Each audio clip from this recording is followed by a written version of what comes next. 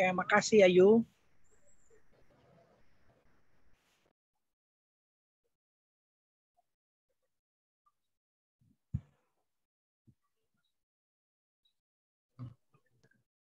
Oke Pak, bisa Pak di itu Pak, lihat ke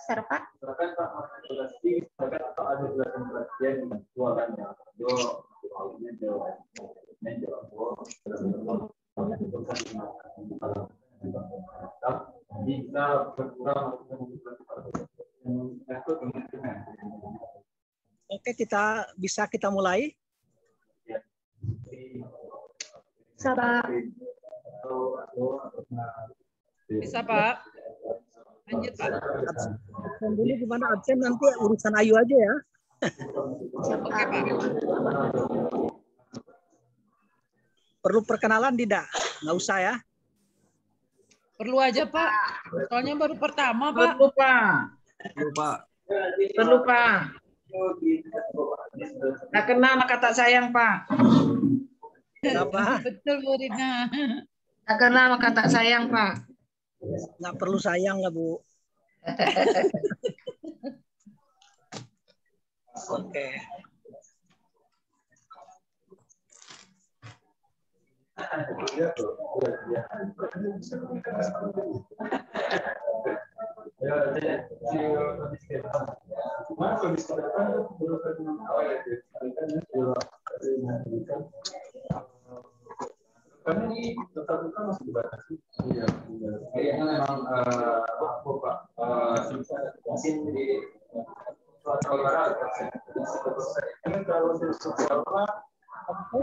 Bisa kita mulai? Bisa Pak. Bisa, Pak. Bisa, silakan, Pak. Silakan. Baik, kita mulai dengan membacakan Bismillahirrahmanirrahim. Bismillahirrahmanirrahim. Izin ada saudara kita yang bukan Islam. Insya Allah enggak ada Pak. Rasanya enggak ada Pak. Em, saya tidak tahu latar belakang Bapak Ibu, cuman yang pasti eh, perkuliahan kita hanya dua kali ya, hanya dua kali pertemuan. Halo? Halo. Iya Pak, dua Halo? kali. Karena kita tim ya, kita tim dengan dengan, dengan dosen terdahulu kita sudah kan. Jelas nggak yang saya sampaikan? Ya, ada Pak. Jelas Pak. Jelas Pak. Sudah Pak. Jelas Pak. Baik, nama saya ada di sana kan?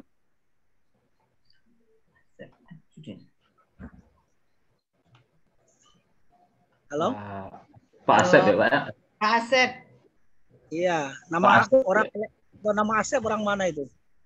Orang Sunda kayak Pak. Barat, Sunda Pak. Jawa Barat. Itu bisa dipastikan orang Sunda kan? Ah, Oke. Tapi jangan eh, saya bahasa Minang ngerti kok. Jadi jangan nanti ngomong Mbak bahasa Minang. ngerti. Bisa bicara cuman kurang-kurang pas gitu lah. Kerang Baik. saklek gitu Pak. Ya, ketahuan juga sih eh, dialek, lidah gitu dan lain sebagainya. Baik, saya dapat amanah, dapat tugas dari kampus kita. Yang kampus kita sudah menjadi institut ya. Menjadi institut, Bapak Ibu nanti ijazahnya itu institut lagi bukan STY lagi ya. Sarwa yang di Bandung ya Pak ya. Kenapa izinnya sudah keluar sudah turun ITB Institut Teknologi Bandung. Eh Institut Eh. Teknologi dan Bisnis ya. Institut Teknologi dan Bisnis Haji Agus Salim. Jadi disingkat dengan ITB khas. Baik saya diamanahkan mengajar mata kuliah soft skill. Manajemen atau manajemen soft skill kan? Manajemen soft skill ini ini tim dosennya sudah saya terakhir barangkali ya sudah terdahulu oleh bapak siapa dengan bapak siapa itu Pak Elvindri, Pak Hennaidi. ah ya itu sudah dengan yang senior-senior saja sudah dengan eh, Pak Prof. Elpindri, beliau sangat senior dan tentunya kita-kita sudah mendapatkan pemahaman yang utuh tentang apa itu manajemen soft skill. Saya meyakininya itu. Cuman tentunya terlepas dari pemahaman yang sudah utuh dari Bapak Ibu tentang manajemen soft skill, tentunya ada bagian lain yang ditugaskan kepada saya, yaitu tentang karakter building dalam Islam. Makanya saya tanya dulu tadi, apakah ada di antara kita yang saudara kita yang bukan Islam? Ya, maka ketika saya berbicara tentang uh, karakter building dalam Islam, tentunya ada saudara kita. Kalau memang ada yang bukan Islam, sedikit kita menyesuaikan gitu. Itu maksud saya ya. Jadi yakin 100% ya. Halo? Insya Allah. Oke, ya. baik. Ini izin Bapak nih siapa nih Pak? Yang muncul aja di layar saya. Bapak siapa? Saya. Silakan Pak. Saya, saya mungkin ya Pak. Ya, ketuanya Ah, siapa Bapak? Abdi, Adi Pak. Afrizal Pak. Ya, Bapak ketuanya. Oh bukan. Chan Pak. Ya Oh, apa-apa. Bapak ya, ya. Karena Bapak yang muncul di layar saya ya. Pak Prizal di mana sehari-harinya? Sehari-hari Pak. Di Ya. konsultan Pak. Di di mana Pak? Konsultan Pak di Bukit Tinggi Pak. Oh di Bukit ya. Konsultan bidang apa Pak? IT Pak. Oh, banyak belajar nanti saya ya. Insya Allah Pak. Amin. Ada ibu barusan yang muncul juga di layar.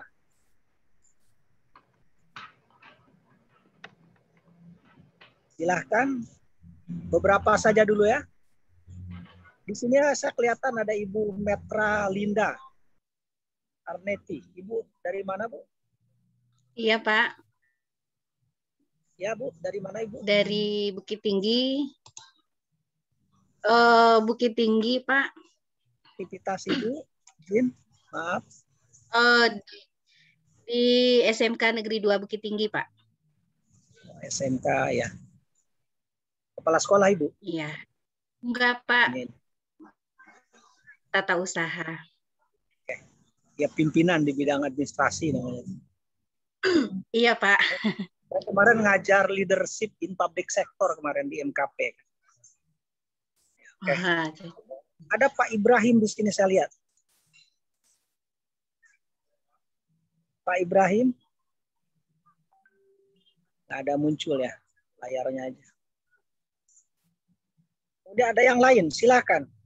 Ibu Rina, Ibu Dina, ada Pak Arif, ada Pak Kefri, Ramdhani. Silakan. Sekilas saja ya. Bu Rina Ya, di mana Ibu Rina? Ya Pak, eh, saya eh, Rina.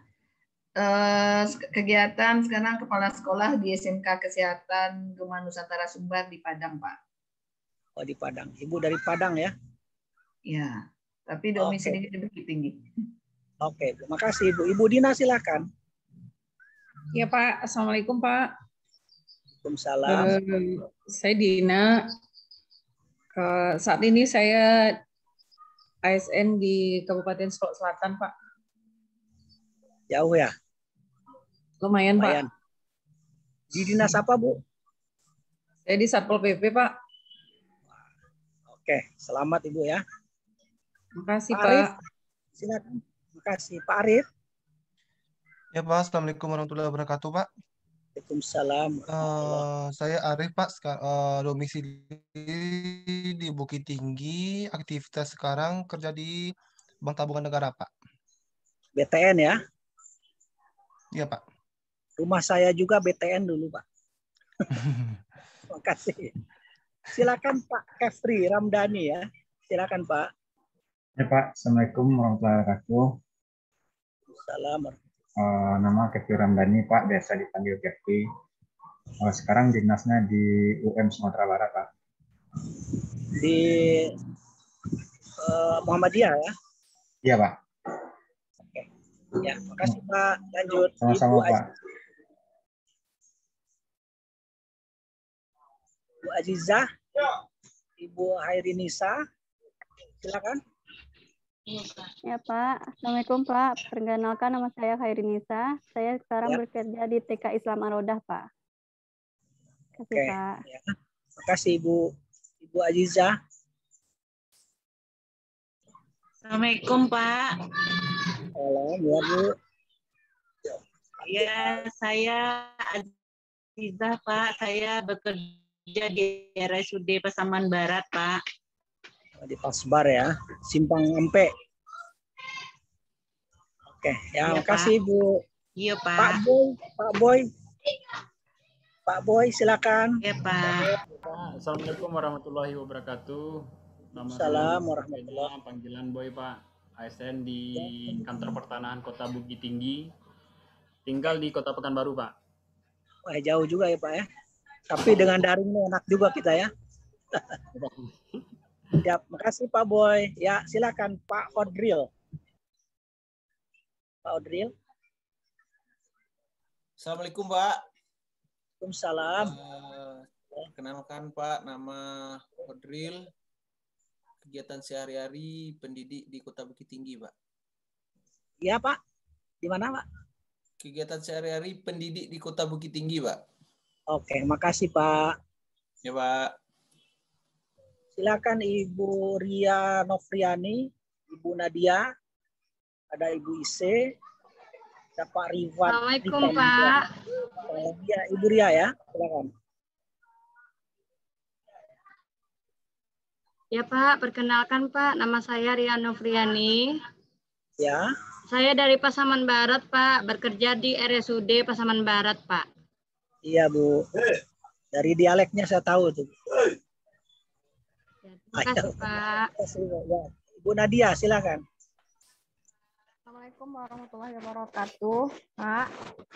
Eh, nama saya, kenalkan nama saya Nadia, Pak. Eh, kebetulan saya sekarang di salah seorang lurah di Kota Bukit Tinggi, Pak. Selamat Ibu Lurah, selamat bergabung Bu Lurah. Ya. Terima kasih. Ya, Pak. Ibu Ise, silakan. Assalamualaikum Pak.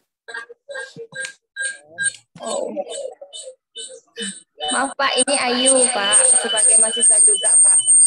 Oke, siap. Terima kasih.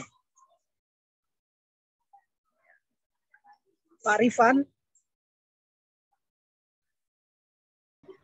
Iya Pak. Ya. Pak Rifan di mana?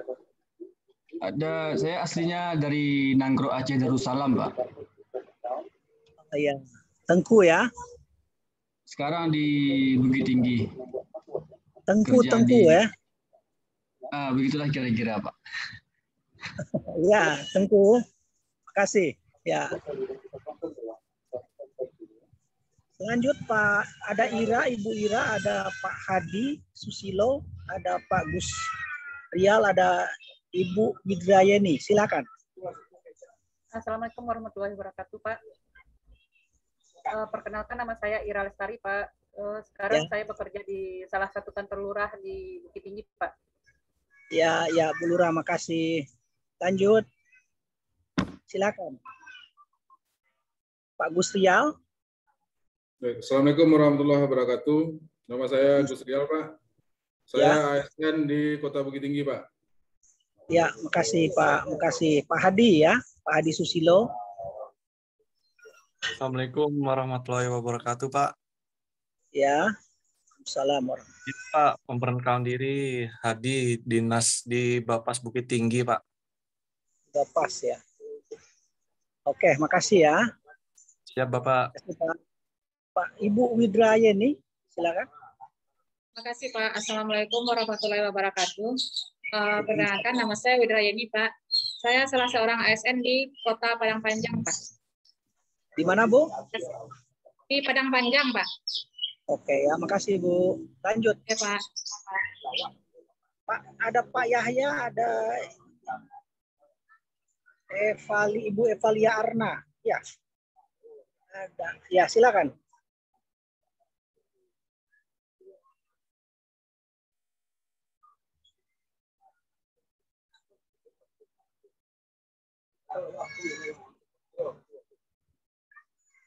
Oke ya, ada Pak Eka Putra. Silakan kita mulai saja ya. Baik. Sudah ada berapa kita yang hadir? Baik, saya berbicara di sini tentang um, pada mata kuliah manajemen soft skill kan. Saya meyakini kita semua telah memahami tentang uh, apa itu manajemen soft skill kan gitu. Ya, manajemen soft skill ini adalah uh, manajemen tentang hal yang berlawanan tentang hard skill. Soft skill ini adalah keterampilan-keterampilan khusus yang bersifat soft skill. Lawannya adalah hard skill kan. Yang di dalamnya itu ada uh, kemampuan atau keterampilan sosial. Kemudian bagaimana cara berkomunikasi itu yang soft skill itu. Kemudian kecerdasan sosial dan lain sebagainya. Dan manajemen soft skill ini sesuatu yang tidak bisa diukur dan tidak berwujud. Gitu. Nah, kemudian um, ada beberapa hal di manajemen soft skill ini yang harus dimiliki. Salah satu di antaranya ada lima kurang lebih. Saya yakin ini sudah disampaikan oleh dosen-dosen terdahulu, oleh Prof juga sudah disampaikan. Tetapi saya ulang lagi. Yang pertama adalah tentang uh, komunikasi. Tentang komunikasi, kemampuan dalam hal mendengar, dalam hal negosiasi, public speaking, storytelling, presentase, berorganisasi. Itu masuk ke dalam soft skill dalam lingkup komunikasi. Kemudian bagaimana yang kedua problem solving.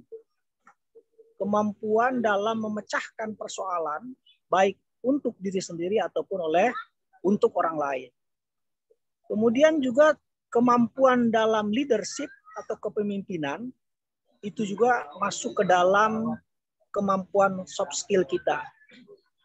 Kemudian yang keempat adalah kemampuan beradaptasi. Kemampuan beradaptasi itu bagian dari um, kemampuan keterampilan dalam hal soft skill. Dan yang kelima ada adanya etos kerja, kemampuan dalam uh, etos kerja. Nah, lima hal ini uh, adalah bagian atau beberapa hal yang masuk ke dalam keterampilan soft skill, kemampuan dalam manajemen soft skill. Nah, saya ditugaskan di sini untuk menyampaikan tentang karakter building dalam Islam. Ini ada pengertian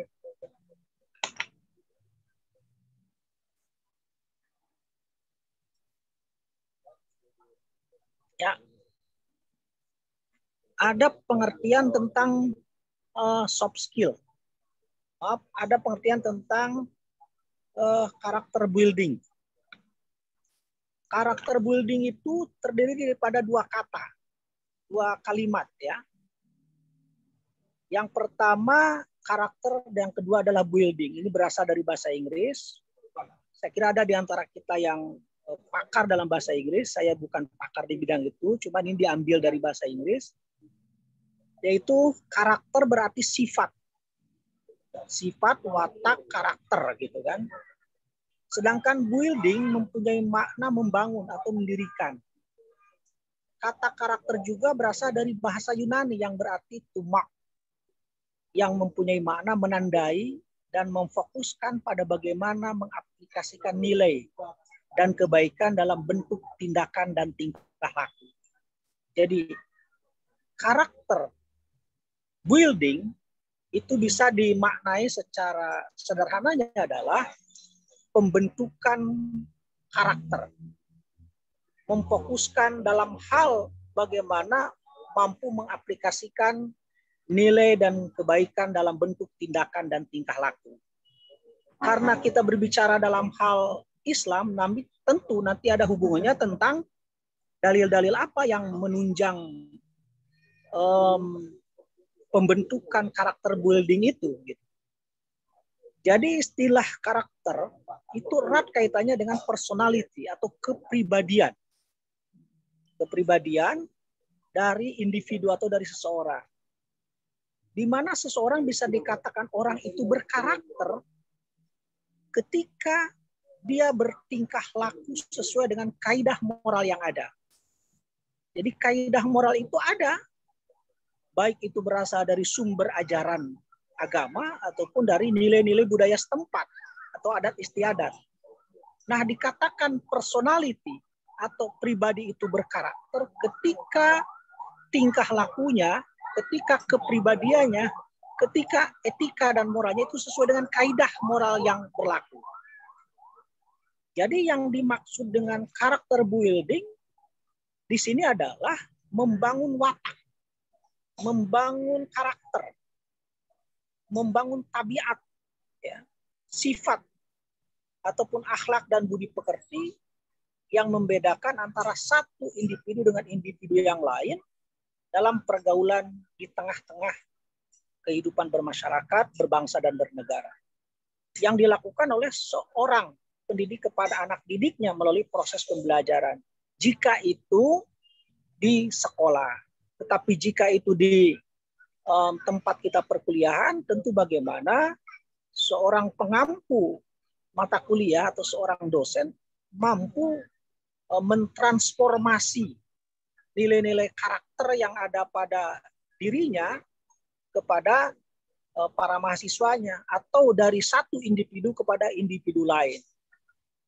Dan tentunya um, dalam pembentukan karakter yang terbaik, bagaimana yang yang terbaik adalah bersifat keteladanan, aplikatif dari tokoh itu sendiri. Jadi ketika para dosennya, para gurunya, para tokoh agamanya, para pemuka masyarakatnya berkepribadian tidak baik, tentu istilah lain kata orang-orang dulu, kalau maaf agak kasar ya, kalau guru kencing berdiri, muridnya kencing maraton gitu kan. Jadi itu kepribadian yang keteladanan yang tidak baik. Jadi intinya karakter bullying itu adalah dalam rangka membangun watak, karakter, tabiat, sifat, akhlak, budi pekerti seseorang. Itu um, ketika kita berbicara tentang uh, karakter building, pemahamannya secara umum. Bagaimana karakter building dalam Islam? Membangun karakter melalui pendidikan Islam memiliki makna yang lebih tinggi dari pendidikan moral karena pendidikan karakter tidak hanya berkaitan dengan masalah benar dan salah, tetapi bagaimana menanamkan habit, kebiasaan tentang hal-hal yang baik dalam kehidupan. Sehingga kalau itu di sekolah, anak didik mempunyai kesadaran dan pemahaman yang tinggi serta kepedulian dan komitmen untuk menerapkan kebajikan dalam kehidupan sehari-harinya. Tentunya kalau di tengah-tengah masyarakat bagaimana seorang tokoh masyarakat, seorang pemuka mampu memberikan kesadaran, pemahaman, komitmen, kepedulian yang diterapkan kepada masyarakat di sekitarnya atau bagi dia seorang dosen, seorang pendidik. Jadi dia harus mampu memberikan keteladanan. Dia mampu mengaplikasikan pada dirinya Tentunya setelah mampu mengaplikasikan pada dirinya, selanjutnya dia mampu mentransformasikan terhadap para mahasiswanya gitu. Jadi yang diberikan bukan hanya um, apa namanya kecerdasan tentang akademik saja, tetapi kecerdasan tentang um, soft skill, kecerdasan tentang karakter, pembentukan karakter itu sendiri dari seorang dosen, dari seorang guru, dari seorang pemuka. Saya menamakannya itu adalah keteladanan. Dalam konsep Islam itu terdapat dalam Quran surat Al-Ahzab ayat 21 yang maaf tidak sempat saya uh, apa share di sini tapi mohon dicatat saja. Saya kira kita di antara kita sudah banyak yang hafal yaitu auzubillahi minasyaitonirrajim. Laqad kana lakum fi rasulillahi uswatun hasanah. Sungguh pada diri Rasulullah itu telah ada teladan yang baik telah ada uswah hasanah keteladanan kita kan pernah eh, membaca juga tentang buku yang ditulis oleh Michael Hart tentang 100 tokoh yang paling berpengaruh di dunia. Seorang Michael Hart yang bukan beragama Islam, dia menempatkan Nabi Muhammad pada urutan yang pertama 100 tokoh yang paling berpengaruh di dunia. Ketika ditanya oleh orang, kenapa menempatkan Nabi Muhammad pada urutan yang pertama pada 100 tokoh yang berpengaruh di dunia, Michael Hart menjawab, saya melihatnya pada keteladanan seorang Muhammad.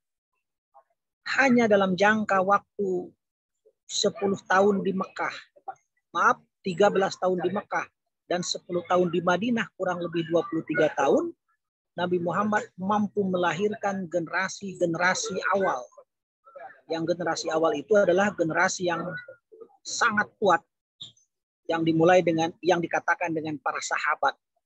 Mulai dari sahabat Abu Bakar, sahabat Umar, sahabat Utsman bin Affan, sahabat Ali bin Abi Thalib. Kata-katanya sahabat, bukan anak buah gitu. Nah itu dari segi istilah saja Nabi Muhammad mampu menjadi tokoh yang paling berpengaruh di dunia hanya dalam waktu 23 tahun. Di sana ada keteladanan, ada uh, nilai-nilai dalam dirinya. Makanya seorang pemimpin yang akan berhasil itu adalah pemimpin yang mampu menjadikan teladan bagi dirinya. Bukan hanya mampu berbicara. Bahkan ancaman dalam Al-Quran, saya lupa ayatnya, surat apanya saya juga lupa, cuman berbunyinya begini, A'udzubillahiminasyaitonirrajim kaburo maktan indallah antakulu la taf'alun. Sungguh besar murka Allah kepada orang yang hanya pandai berbicara, tetapi tidak mampu meng mengaplikasikan, yang tidak mampu mengimplementasikan apa yang dia katakan. Jadi dosa terbesar ketika ada orang yang hanya pandai bicara, tetapi dia tidak mampu mengaplikasikan, mengimplementasikan dalam kehidupan sehari-hari. Dalam bahasa orang Arab mengatakan eh, lisanul hal absahu mil lisanil maqal. Eh, perbuatan itu lebih dahsyat dampaknya daripada sekedar perkataan. Nah ini. Jadi untuk itu ketika kita berbicara tentang karakter building pembentukan karakter dalam Islam, bagaimana seorang tokoh, seorang dosen, seorang pemimpin mampu menjadi teladan dalam menenai, dalam menanamkan habit kebiasaan untuk melakukan hal-hal yang baik. Lanjut Bu bagi yang eh, apa jaringannya kurang baik. Kemudian tujuan dari karakter building. Tujuan dari karakter building dalam Islam adalah um, tercapainya beberapa kompetensi dan beberapa kemampuan yang tertanam dalam diri anak didik. Kalau itu di sekolah di perguruan tinggi tentu bagi para mahasiswa di masyarakat tentu bagi masyarakat. Di antaranya adalah tercapainya kecakapan jasmania seperti pengetahuan membaca, menulis, pengetahuan, ilmu-ilmu kemasyarakatan, kesusilaan, keagamaan, kedewasaan jasmani dan rohani dan lain-lain yang mengarah kepada pembentukan karakter dan kepribadian yang sesuai dengan nilai-nilai agama Islam. Dalam nilai-nilai agama Islam itu ada tiga nilai ya. Ada tiga nilai dalam pendidikan Islam itu. Yang pertama itu ada tiga pilar ya. Sekarang tiga nilai ya. Itu belum tidak ada di sini, tapi nggak apa-apa itu yang diinikan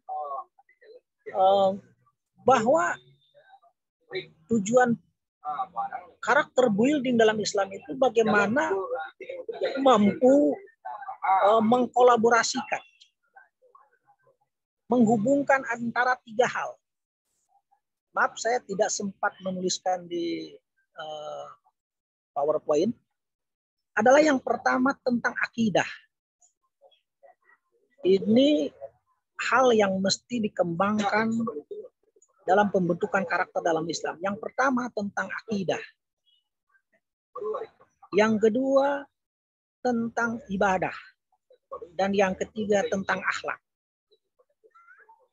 adalah pembentukan nilai-nilai keyakinan, nilai-nilai keimanan yang harus dibentuk dalam Islam.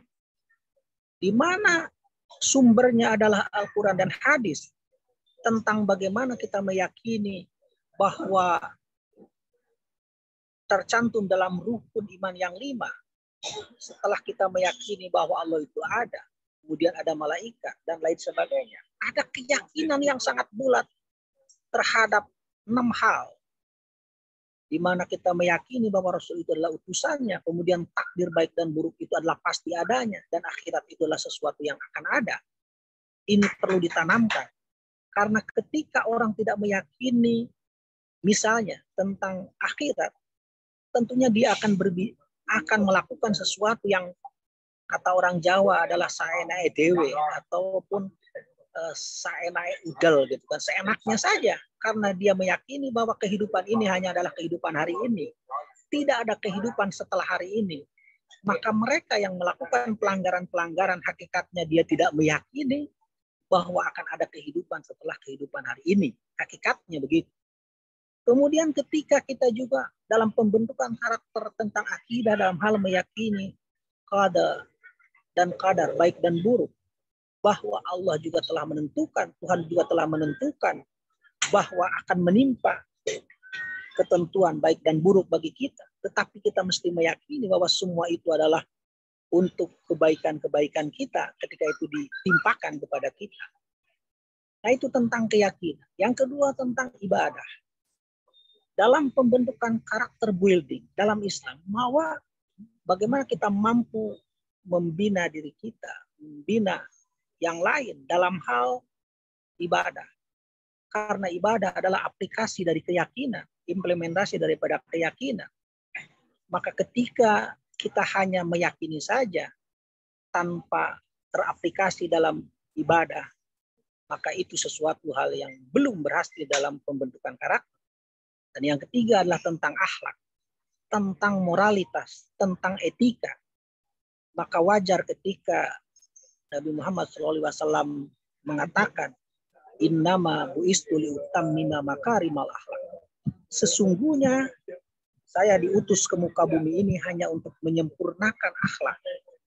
Menyempurnakan karakter yang baik. Karena ketika itu, ketika Nabi Muhammad diutus ke negeri Mekah ketika itu, ditandai dengan turunnya surat Al-Alaq ayat 1 sampai 5 menandai kerasulan seorang Muhammad pada usia 40 tahun. Dia menyatakan setelah itu, Innama bu'istuli. Saya diutus saja untuk menyempurnakan budi pekerti. Etika, moral, dan akhlak yang ketika itu masyarakatnya uh, terkena dengan masyarakat jahiliyah. Jahiliyah di sini bukan persoalan tentang teknologi, tentang sosial kemasyarakatan. Sesungguhnya masyarakat Arab ketika itu sudah sangat modern dalam ilmu perdagangan mereka menguasai dan dalam ilmu sosial kemasyarakatan juga hebat. Tetapi mereka dikatakan jahiliyah itu adalah karena mereka tidak benar dalam hal keyakinan, tidak benar dalam hal akidah, tidak benar dalam hal berperilaku dan bermoral ketika itu. Makanya tujuan dari karakter building dalam Islam bagaimana membentuk tiga hal itu yang satu sama lain saling menghubungkan antara akidah, ibadah, dan akhlak. Dan selanjutnya, ini pada layar kita ini ada tiga pilar. Pendidikan pembentuk karakter. Ada tiga lembaga ya. Ada tiga tempat sebagai basis kekuatan pendidikan kalau menurut Ki Hajar Dewantara, itu Bapak Pendidikan Indonesia, ini terkenal dengan istilah tripusat. Tripusat ini adalah tiga pusat pendidikan untuk membentuk karakter. Yang pertama ada pendidikan formal, itu yang disebut dengan sekolah. Di sekolah kita diajarkan pendidikan karakter atau di perkuliahan. Di sekolah umum misalnya itu ada pendidikan agama Islam. Dua jam dalam seminggu di perkuliahan juga ketika kita di S1 dulu ada MKDU. Mata kuliah dasar umum yaitu pendidikan agama Islam. Juga ada kewarganegaraan. Itu juga dalam rangka pembentukan moral. Karena sumber nilai pembentukan karakter itu tentunya ada agama, ada Pancasila, ada budaya budaya yang timbul di lingkungan kita. Makanya dalam lembaga sekolah, salah satu lembaga pendidikan formal di Indonesia, baik di perkuliahan ataupun di sekolah, di sana sudah diajarkan agama, di sana diajarkan Pancasila, di sana diajarkan kewarganegaraan, di sana diajarkan berbagai macam pendidikan karakter. Yang pada muatan lokal kalau sekolah yang ada di Indonesia juga maaf jadi yang ada di Sumatera Barat adanya BAM kalau dulu. Sekarang apakah masih ada budaya alam Minangkabau itu ataupun tidak? Saya tidak, tidak tahu. Cuman dulu kalau tidak salah itu di sekolah-sekolah itu diajarkan budaya alam Minangkabau sebagai um, bentuk ataupun cara dalam pembentukan karakter di Minangkabau berbasis uh, budaya yang ada. Kemudian itu adalah pendidikan yang bersifat formal yaitu di sekolah atau di perguruan tinggi. Kemudian yang kedua, yang kedua adalah basis kekuatan pendidikan karakter itu pembentuk pendidikan karakter itu adalah di rumah. Di rumah itu pendidikan informal namanya. Kalau tadi eh, apa namanya formal, ini informal. Di rumah tangga. Rumah tangga itu yang terdiri daripada ayah, ibu, anak ataupun ada keluarga-keluarga yang lain, misalnya ada nenek di rumah itu ataupun ada yang lain. Tapi isi dari sebuah rumah itu ada tiga, ayah, ibu, anak. Di mana gambaran ya, gambaran sebuah rumah tangga yang baik itu adalah tergambar dari perangai dan perilaku anak. Sehingga orang bertanya, kok begitu karakternya anak itu, kok begitu moralitasnya? Oh, bapak dan ayahnya itu baik banget dia. Oh, bapak dan ayahnya itu. Selalu dia dihubungkan, dinisbatkan kepada kedua orang tuanya. Ketika moralitas anak di tengah-tengah masyarakat baik-baik, apakah itu bersikap baik ataupun buruk. Karena memang pendidikan karakter itu di rumah tangga, di rumah itu sangat mempengaruhi pada pendidikan karakter baik itu di sekolah ataupun nanti di tengah-tengah masyarakat. Sehingga dalam Quran surat At-Tahrim ayat 6 Allah Subhanahu wa taala berfirman, "A'udzubillahi minasyaitonirrajim." Ya ayyuhalladzina amanu qu anfusakum wa ahlikum nar. Wahai orang-orang yang beriman, jagalah dirimu anfusakum jagalah dirimu. Jadi dirimu dulu wa ahlikum, kemudian keluargamu. Maksudnya dalam rumah itu naro dari azab siksa api neraka. Itu pendidikan karakter pembentukan di rumah. Dan sangat berpengaruh pendidikan di rumah itu.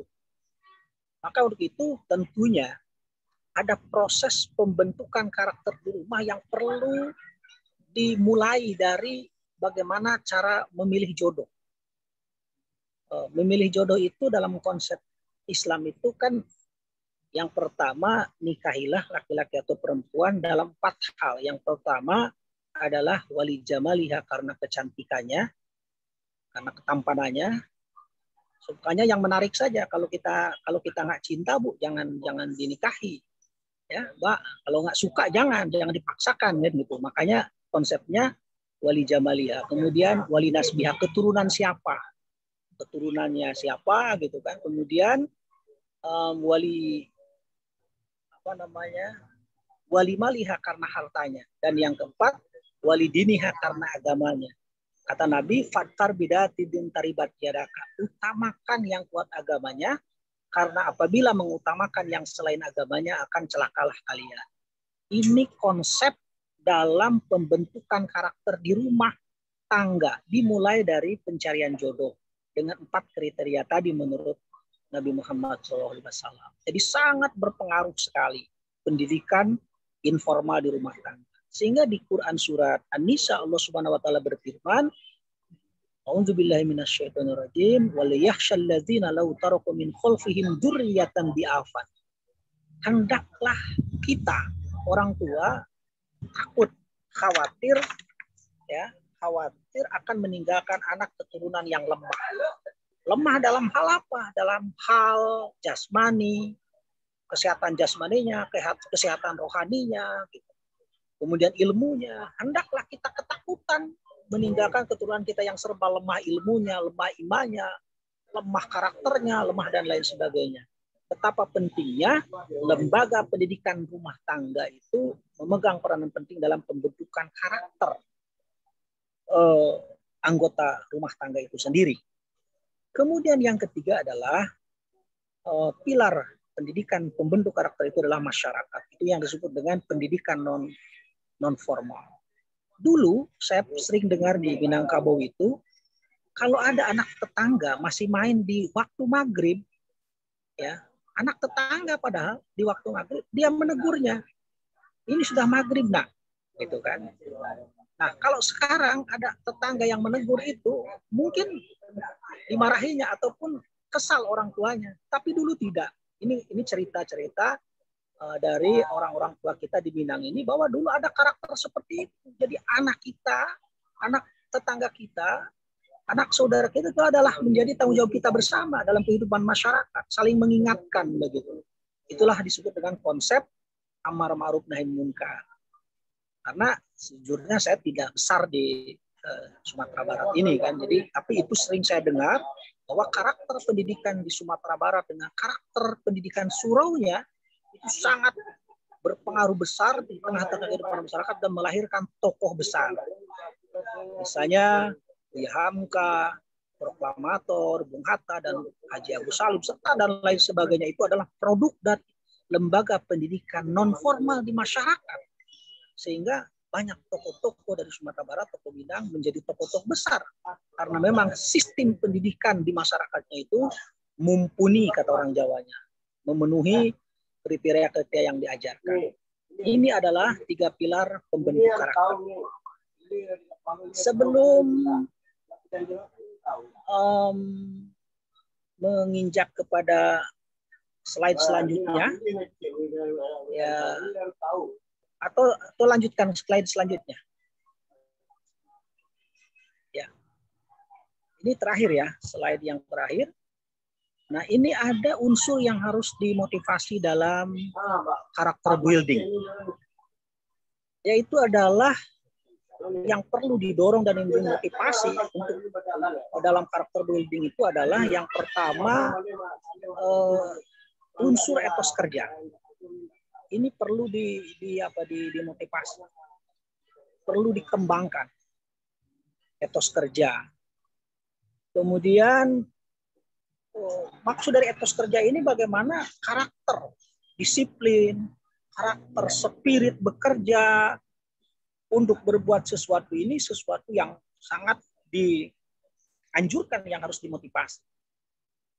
Rasulullah pernah uh, mengatakan ya dalam sebuah sabdanya bahwa kata Nabi al yadul ya khairum minal yadis tangan di bawah itu itu lebih baik tangan di atas itu aliyadul ya tangan di atas itu lebih baik daripada tangan di bawah. Artinya memberi itu itu lebih baik daripada menerima. Bahkan Rasulullah sangat memuji orang yang mencari nafkah dengan mencari kayu bakar ke hutan di mana tangannya berbekas bekas Eh, bekerja bekas bekerja maka itu itu yang akan menjadi saksi di akhirat kelak dan Rasulullah bangga kepada orang yang di tangannya ataupun ada bekas hanya untuk menafkahi keluarganya. Unsur etos kerja ini hal yang harus dimotivasi dalam karakter building. Menjadi pemalas adalah sesuatu yang sangat dibenci oleh Rasulullah. Islam tidak mengajarkan kemalasan, justru Islam mengajarkan bagaimana kita uh, rajin beretos kerja tinggi.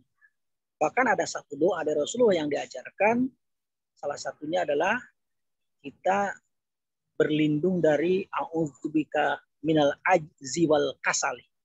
Kita berlindung dari sifat azi, ya, lemah, wal kasali dan pemalas. Itu ada doa pagi dan petang ya. Itu ada doa dan pagi dan petang bagi bapak ibu yang biasa membaca doa itu. Silahkan lihat di di, di hadis Nabi itu. Artinya ini yang harus dimotivasi. Nah, kita para karyawan di sini saya ada konsultan, ada bapak dan ibu. Oh, nggak apa-apa bu, lanjut yang jaringannya terganggu nggak apa-apa. Saya hanya melanjutkan yang baik-baik saja sina apanya jaringannya. Maka etos kerja ada sesuatu yang mesti dimotivasi dan itu adalah ajaran Islam. Bahkan kita berlindung dari sifat pemalas itu. Nah ini, Kemudian unsur yang harus dimotivasi dalam karakter building adalah unsur pengetahuan dan keterampilan. Unsur pengetahuan itu itu adalah sesuatu yang mesti dikembangkan, dimotivasi. Dalam bahasa eh, kerennya, dalam bahasa kerennya ada istilah kecerdasan. Berarti yang harus dimotivasi dalam uh, karakter building ini adalah bagaimana kita menambah kecerdasan intelektual kita. Rajin membaca, belajar, kemudian spirit kita untuk menambah ilmu pengetahuan dan teknologi kita itu harus tinggi. Itu merupakan karakter building, tidak pemalas. Baru baca satu halaman buku saja sudah ngantuk misalnya kan. Ya, ini ini jelas uh, hal yang harus dikembangkan ada kecerdasan intelektual, kemudian ada kecerdasan uh, emosional, ada kecerdasan-kecerdasan lain. Nah, bahasa lainnya itu dalam ilmu pendidikan ada tiga ranah yang mesti dimotivasi, yang mesti dikembangkan pada diri manusia. Yang pertama, ranah kognitif. Kognitif itu adalah ranah pengetahuan, kecerdasan inteligensi, kecerdasan intelektual. Yang kedua afektif sikap. Yang ketiga adalah psikomotorik keterampilan. Ya, life skill.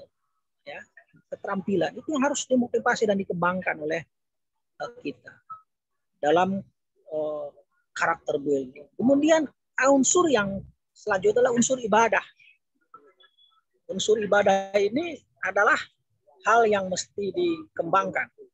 Nanti saya akan membahasnya lebih lanjut lagi yang yang terakhir adalah unsur apa, Bu? Kognitif efektif psikomotor. Kejujuran ya. Adalah unsur yang harus dimotivasi dalam karakter building ini adalah unsur kejujuran. Kejujuran adalah mata uang yang berharga, sangat berharga dan berlaku di mana-mana. Itu barangkali untuk sesi pertama uh, perkuliahan saya dan saya di sini ingin diskusi dengan kita dan silahkan mengajukan beberapa pertanyaan dari siapa, kemudian sebutkan namanya. Ingin diskusi di sini tentang materi yang telah kita sampaikan. Ini untuk sesi pertama. Silakan. Mohon izin bertanya, Pak. Ya, boleh. Ayo uh, Bu Rina Pak.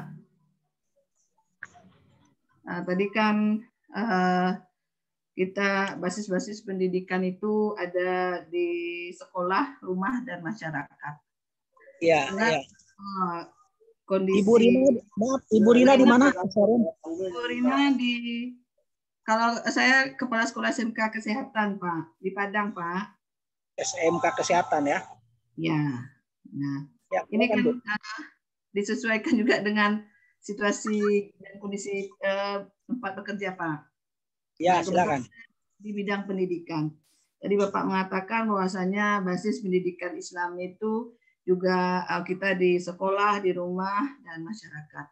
Nah, dengan yang saya yang kita alami sekarang ini, Pak, terutama sekali dengan kondisi COVID uh, sekarang ini, uh, di mana sekolah sebenarnya kan merupakan basis pendidikan, terutama pendidikan karakter yang akan membentuk soft skill anak-anak kita nantinya. Nah, sekarang terasa sekali ketika kita harus pembelajarannya itu daring, tidak ada tatap muka dengan siswa, uh, kita seolah-olah hanya memberikan ini khusus untuk pendidikan menengah ke bawah mungkin Pak ya. Nah, Ya, kita, ya. kita hanya memberikan uh, seolah-olah hanya pengetahuan saja kalau yang secara virtual itu Pak. Nah, soal, sekarang ini terlihat sekali kami merasakan sekali di dunia pendidikan itu Pak. Uh, ketika kami mencoba untuk uh, luring ya uh, anak-anak masuk lagi ke sekolah setelah satu tahun uh, berlalu dengan daring gitu kan terasa sekali karakter anak-anak itu betul-betul uh, tidak terbentuk lagi kemudian jauh dari apa yang kita harapkan. Misalnya masalah disiplin mereka masalah etos uh, uh, uh, tata cara mereka adab segala macam itu karena kita kan biasanya setiap hari itu membiasakan kebiasaan-kebiasaan mereka, disiplin, adab terhadap guru, etika terhadap teman, segala macamnya. Nah, ini yang kita rasakan sangat tertinggal sekali, Pak, gitu kan. Nah, bagaimana kita menyikapi ini ke depannya gitu dengan ketertinggalan yang satu tahun uh, kemarin itu, Pak. Itu yang ingin saya sampaikan uh, bahwasanya apalagi kalau untuk pendidikan menengah ke bawah itu guru itu adalah figur sekali rasanya untuk pembentukan karakter mereka dan mereka memang di sekolah itulah sebenarnya yang tempat pendidikan karakter mereka gitu. Sementara kita tidak menjalankannya gitu. Nah, ini permasalahan yang ada sekarang ini, Pak. Pak. Makasih Bu Rina, Ibu guru ya. Ya, Pak. Bu kepala sekolah. Ah, disetujui dulu apakah saya jawab ataupun ada tiga eh, diskusi kita. Ini bukan pertanyaan tapi kita diskusi sifatnya ya. Ya, Pak. Silakan yang lainnya.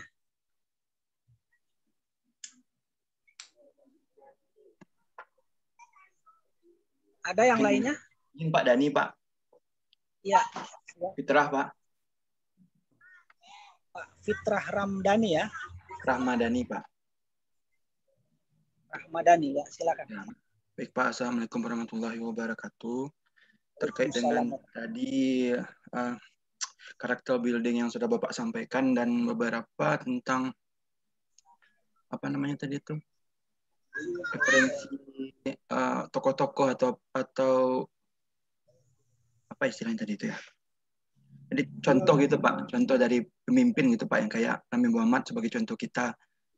Nah sekarang kan kita mm, sama-sama ketahui kondisi negara kita seperti ini Pak, dan tidak uh, jarang kita dengar dari masyarakat paling bawah sampai ke paling atas dan dari anak-anak sampai ke yang dewasa itu udah gampang sekali untuk berkomentar Pak terkait dengan kondisi kita sekarang. Jadi yang saya uh, tanyakan apa yang terjadi di kita sekarang ini tuh Pak. Jadi nggak ada lagi yang bisa kita kasih uh, jadikan sebagai contoh uh, untuk uh, kita berperilaku di negara ini Pak. Jadi kadang-kadang ada yang pejabat jadi mengatakan mereka anti korupsi, sementara mereka sendiri melakukan hal tersebut gitu Pak. Nah, jadi eh, bagaimana sebaiknya atau bagaimana tuh Pak kita bertindak, Pak kita konsisten dengan kita di Islam saja atau kita membiarkan mereka yang seperti itu tanpa mempedulikan ya apa yang terjadi? Ya kita bingung mau menyampaikannya Pak. Cuman mau mau bagusnya bagaimana gitu Pak? Terima kasih Pak. Oke makasih Pak Dani ya. Ya Pak. Ya satu lagi ya. Silakan. Pak. Fadril Pak. Pak Fadril ya. Ya Pak. Izin Pak. Pak izin Pak Dani tadi di mana? Sebentar. Pak Dani. Ya di Bukit Tinggi Pak. Di mana Pak? Tugasnya Pak. Ya. Tugas di Badan Keuangan Kota Bukit Tinggi Pak. BKD ya. Ya, Pak. Kasih, Pak. Silakan makasih Pak Dani. Silakan Pak siapa? Fadril, Pak. Pak Fadil.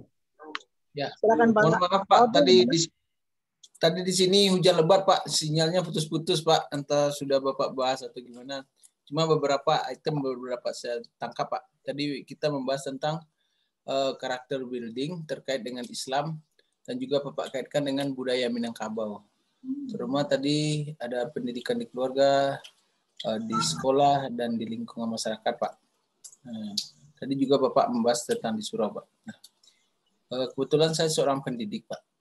Nah, Ya. Gimana Pak? saya Jaya saya juga eh, produk dari sistem transisi gitu Pak. Sebelumnya saya juga di zaman Orde Baru itulah belajar yang gitu kan Pak. Nah, Ya, ada ya. satu hal yang yang kontradiktif yang saya rasakan Pak. Ini mau, saya mau tanggapan Bapak dari segi eh, pandangan Islam dan pandangan negara gitu Pak. Negara eh, negara Indonesia gitu Pak. Nah, kalau dulu kita membahas tentang eh, surau gitu sebagai salah satu pusat pendidikan karakter dan mental Pak. Terutama skill di situ ditanamkan sekali Pak. Nah, Ya. Eh, di situ saya juga mengalami beberapa saat gitu pak. Nah kalau pesantren saya tidak mengalami, kalau surau saya mengalami pak. Nah di situ tuh ada yang saya rasakan satu nilai yang yang sekarang ini mungkin sulit kita temukan di tengah sistem pendidikan nasional kita pak. Itu nilai ada nilai ketegasan pak, nilai ketegasan dan nilai keikhlasan apa maksud nilai ke keikhlasan? Saya mulai dari keikhlasan, Pak. Kalau dulu kita diserahkan ke surau itu oleh orang tua, itu istilahnya kalau dalam Minang, papi taruh hendak baturi gitu, Pak. Papi taruh hendak dunyian, papasan hendak baturi. Artinya ada sebuah kepercayaan gitu, Pak. Nah, eh, kalau sekarang itu tidak tidak tidak kita temui sepenuhnya di tengah masyarakat, Pak. Terutama di pendidikan eh, dengan berbagai macam aturan seperti HAM, seperti merdeka belajar atau gimana. Padahal dalam pembentukan karakter sebuah nilai disiplin dan keikhlasan ini penting, Pak. Contoh, tidak bisa kita tafsir, eh, mungkiri kalau di alat negara seperti eh, di TNI atau Polri lah saya sebut Pak. Mereka pembentukan juga dengan kedisiplinan. Nah di situ saya kaitkan juga dulu ketika kita berbicara dengan guru-guru mengaji kita itu Pak, mereka membayangkan tidak yang manis-manis Pak. Kita dibayangkan dengan nanti kamu merantau, tantangan hidup seperti ini, seperti ini gitu Pak. Hukumannya itu jelas Pak. Yang saya rasakan ketegasan dan kedisiplinan itu jelas Pak. Teguran satu, mungkin tidak sampai yang kedua Pak, itu tegurannya udah berupa satu tindakan mungkin fisik tapi bukan maksud mencelakai gitu kan Pak. Saya juga pernah gara-gara uh, gimana ya mengusili teman ketika membahas tentang mengaji itu saya kena rotan Pak. Tapi itu tuh menjadi sebuah kenangan yang saya ingat kalau saya berbuat seperti ini hukumannya jelas bagi saya gitu Pak. Sehingga ada hal-hal yang eh, menjadi semacam pagar bagi kita dalam untuk bersikap dan bertindak, Pak. Nah, saya mohon Pak eh, dengan kondisi yang ada sekarang ini Pak, bagaimana pandangan dari sudut Islam dan sudut eh, kebetulan Bapak juga master hukum eh, pandangan dari segi eh, kehidupan bernegara gitu Pak. Terima kasih Pak. Oke, ya, makasih. Baik, ini pertanyaan bukan pertanyaan ya, diskusi ya. Diskusi kita yang sangat luar biasa dari Ibu Rina yang eh, SMK ya, kepala SMK di Padang, kemudian Pak Rahma, Pak Ramadhani, Pak Ramadina ya, adalah beliau di BKD Bukit Tinggi dan Pak Hodril yang beliau juga adalah beraktivis di mana Pak Hodril? Pendidikan Pak. Pendidik Pak. Maksudnya di Guru? Pak. Di mana Pak? Guru, guru di SMK 2 Bukit Tinggi Pak. SMK 2.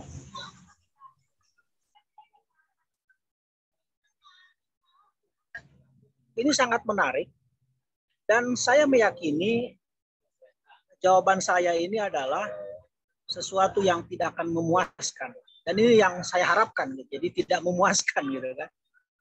Tetapi setidaknya dari apa yang akan saya jawab ini, setidaknya kita mengarahkan kepada uh, mendekati ya, mendekati kepada apa yang menjadi pertanyaan kita.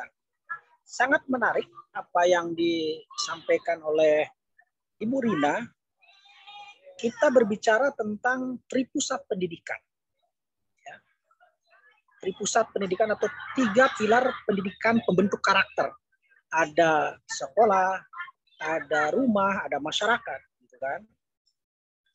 Nah, dalam pendidikan karakter itu contohnya adalah sekolah. Ini yang Ibu Rina sampaikan tadi.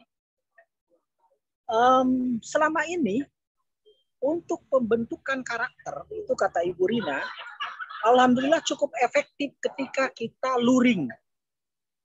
Ya. Itu kan offline kan gitu Bu. Ya.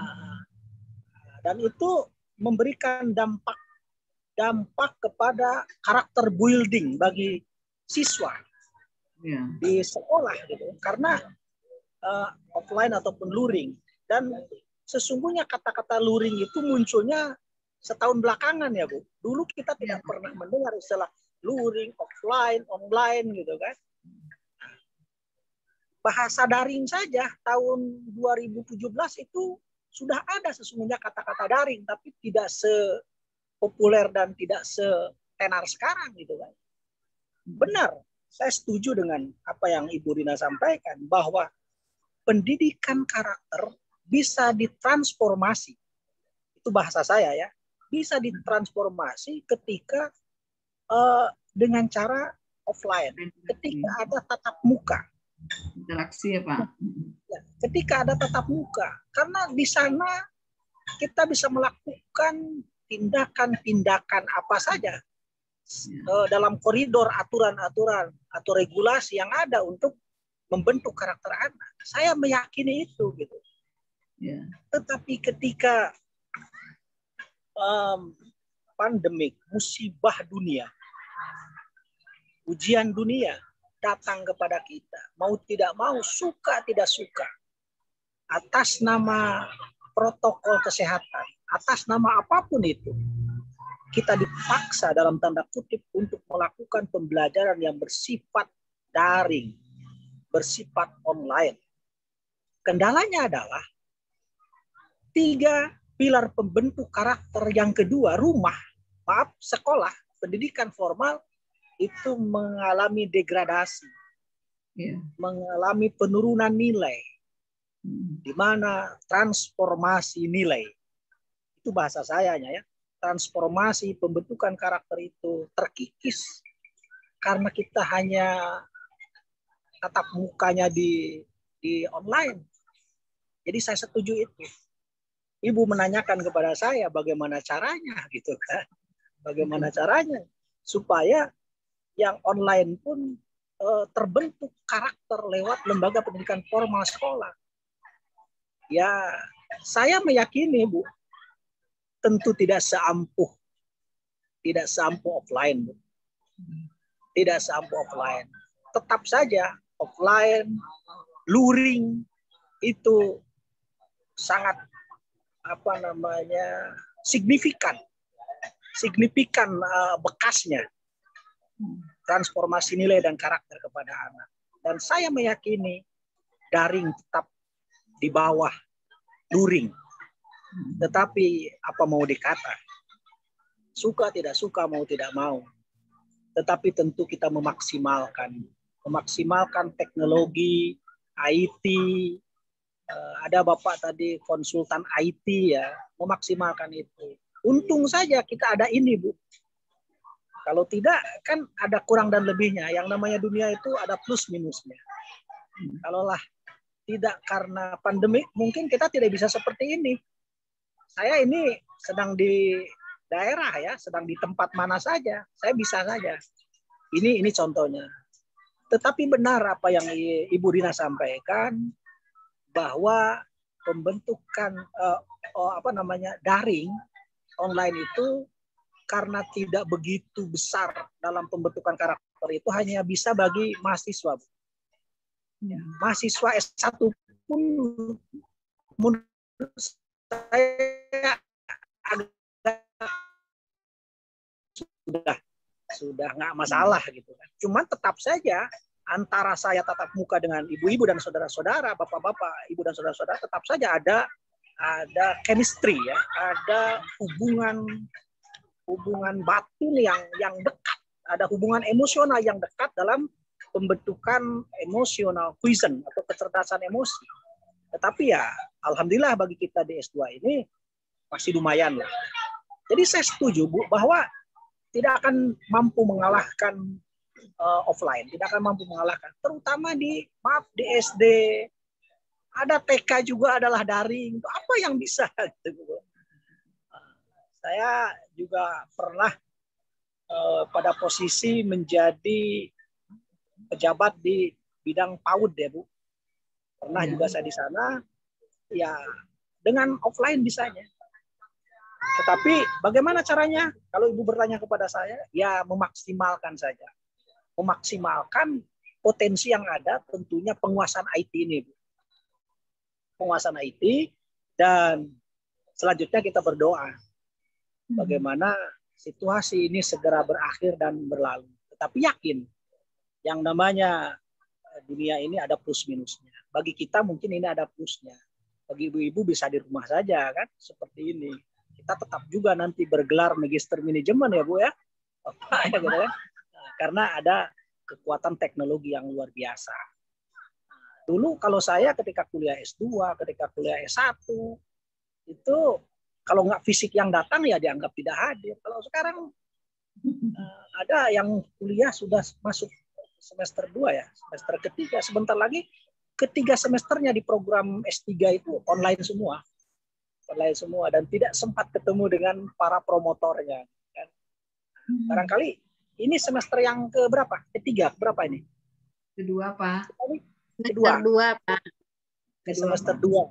Keduanya online kan? Iya, masih, Pak. Ya, Dan saya yakin di semester tiga pun nanti mungkin kita masih online juga. Dan mungkin kita tidak ya tidak ditakdirkan untuk bertemu langsung nanti uh, dalam situasi tapi ya tidak apa-apa mudah-mudahan Tuhan pertemukan kita dalam kesempatan offline nanti. Nah, ini barangkali Bu, saya meyakini bahwa uh, offline jauh lebih dahsyat transformasi nilainya dibandingkan online. Tetapi apa mau dikata, apa hendak dikata, ini bukan persoalan bangsa Indonesia, tetapi ini adalah persoalan dunia. Bahkan Bill Gates entah hoax entah tidak sudah ditangkap oleh FBI, oleh FBI apa? Hmm. Ya, oleh apa Badan Intelijen atau CI bahwa dia adalah dianggap orang yang menciptakan menciptakan virus ya.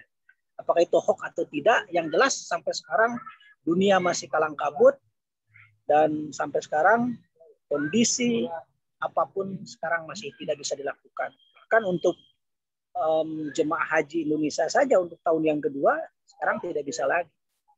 Nah ini, ini contoh-contohnya Bu ya. Jadi saya meyakini ketika Ibu bertanya bagaimana caranya ya kita berusaha maksimal dan selanjutnya berdoa. Segeralah berakhir Bu karena nilai itu sangat mengkhawatirkan bagi anak. Saya anak saya sendiri, saya sudah punya anak Bu. Nah, saya punya anak itu yang bungsu itu sudah sedang kuliah semester 2 di sebuah perguruan tinggi yang ada di Sumatera Barat. Itu online aja. Sibuknya minta ampun. Mungkin lebih sibuk, tapi ya nilai-nilainya belum, tapi nggak apa-apa lah. Itu yang harus kita ikuti. Yang makasih ya Ibu Rina ya.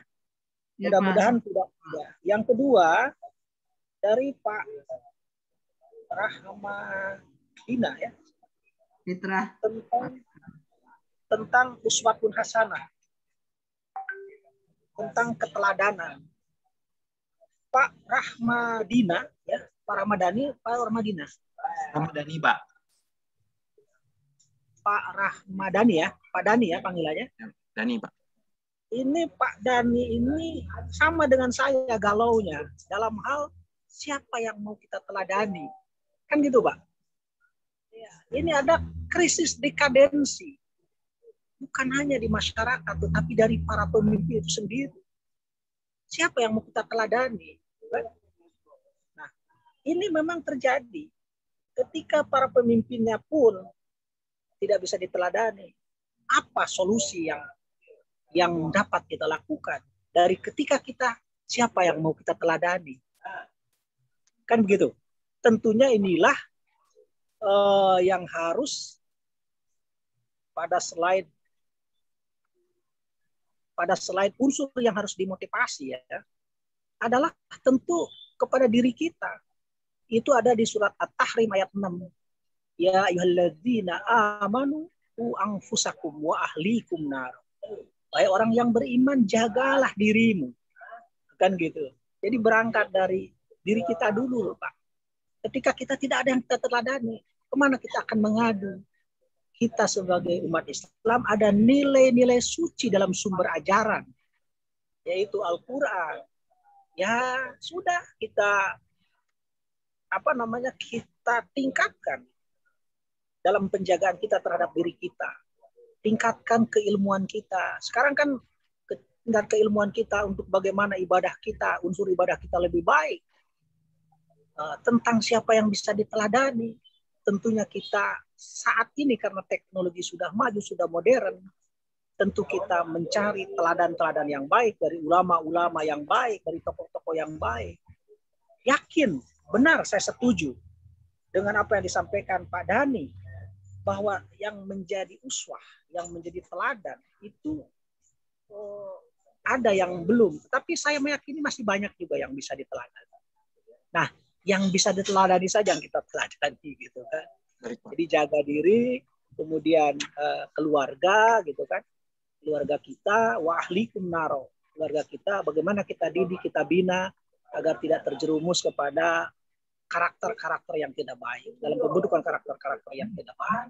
Jadi artinya adalah uh, kitalah me membentuk kepribadian kita dengan sumber-sumber ajaran agama. Kemudian kalau bang bagi bangsa Indonesia adalah nilai-nilai Pancasila sebagai falsafah negara yang di sana ada berketuhanan, kemudian berkemanusiaan, kemudian adanya musyawarah dan lain keadilan sosial di sana ada nilai-nilai science of crisis, science of belonging, kepedulian, empati sosial dan lain sebagainya. Itu yang akan kita bina, kita tumbuhkan di uh, lembaga rumah tangga dalam pembentukan karakter. Kegalauan Pak Dani, kerisauan Pak Dani adalah kerisauan kita bersama. Juga kerisauan saya memang benar Pak tentu terpulang kepada kita. Uh, angfusakum. Angfus, kemudian ahli keluarga. Barangkali, barangkali itu, Pak. Saya yakin ini adalah pengalaman Pak Dani, karena Pak Dani di Badan Keuangan ya. Uh, ketika pemimpin ngomong ini, ini, itu sementara izin minum dulu ya. Baik Pak, baik minum dulu Pak. pengalaman ya, itu pengalaman Pak Dani dan juga adalah pengalaman saya, pengalaman kita semua kadang-kadang ketika berpuasa, ketika memimpin ya saya naik dewe, saya naik udal suka-sukanya aja karena dia berpuasa ya udah keteladanan tidak ada. Tapi ya tentu kita tidak tiru bahwa tahu kita ukuran itu tidak baik, tentu tidak kita teladan. Terima kasih Pak uh, Dani. Dan yang ketiga Pak Khodril, kontradiktif. Ya, kontradiktif. Pak Khodril. Bahwa um, ketegasan, keikhlasan, kedisiplinan, gitu kan? Itu sudah sudah sangat menurun gitu, sangat menurun di di sekolah gitu kan, di tengah-tengah masyarakat. Uh, dulu kalau ada guru yang memberikan hukuman bersifat fisik, kemudian ada kenangan terindah dari Pak Khodil ketika di rotan gitu kan pengalaman kita. Saya juga pernah saya juga pernah apa namanya kalau bahasa Jawanya bahasa Sundanya di strap. Di strap itu berdiri di depan kelas ketika saya tidak bisa mengerjakan matematika gitu kan. Saya juga pernah dilempar oleh penghapus ya. Penghapus yang dari kapur dulu. Dari kapur tulis. Itu masa-masa saya sekolah. Ada yang semasa dengan saya ya sekolahnya. Saya eh, SD tamat tahun 83. Ada yang semasa saya, ada yang di atas saya enggak? Belum lahir saya, SD Pak. saya 83. 8586 ada Pak. 85 86 ya. Saya 83 udah tamat SD. Saya dari Ibtidaiyah ya di kampung di Garut. Nah, di sana apa? Ya, Pak, lanjut, Pak. 83 baru lahir katanya Pak. Oh, iya. Berarti saya udah tua ya. Senior, Pak. Eh, bahwa memang benar Pak Hodril di rotan, di strap, diberdirikan di depan kelas, hukuman dipukul. Nah sekarang itu jangan coba-coba kata Pak Hodril tadi dihamkan gitu kan. Bahkan ada guru yang bahkan disidang dan dinyatakan bersalah ketika orang tuanya mengajukan ini pelanggaran HAM. Nah ini yang diatur oleh undang-undang. Makanya pemerintah melahirkan Undang-Undang Nomor 14 Tahun 2005, Pak. Undang-Undang Nomor 14 Tahun 2005 tentang guru dan dosen. Nah, saya saya akan masuk termasuk bagian dari pengurus PGRI saya. Um, Undang-Undang Guru dan Dosen lahir pada tahun 2005. Sementara Undang-Undang Swaka Marga Satwa jauh sebelum tahun 2005. Bayangkan, Suaka Marga Satwa, undang-undang tentang perlindungan orang utan itu, itu di bawah tahun 2000-an. Sudah ada undang-undang itu. Tetapi undang-undang guru dan dosen lahirnya pada tahun 2005. Dengan proses yang sangat panjang. 10 tahun kurang lebih baru lahir. Gitu. Artinya adalah perlindungan terhadap profesi guru, profesi dosen, profesi yang lain ini, ini yang perlu ditingkatkan. Dulu nggak ada masalah guru memukul anaknya sepanjang itu tidak kepalanya ya. Kakinya saya juga sudah pernah pukul kaki saya karena matematika saya lima terus dulu kan. gitu. Kena pukul saya bodoh katanya. Ya udah, orang tua kita nggak marah tapi sekarang jangan coba-coba. Barangkali inilah yang perlu di apa namanya? Disinkronisasi.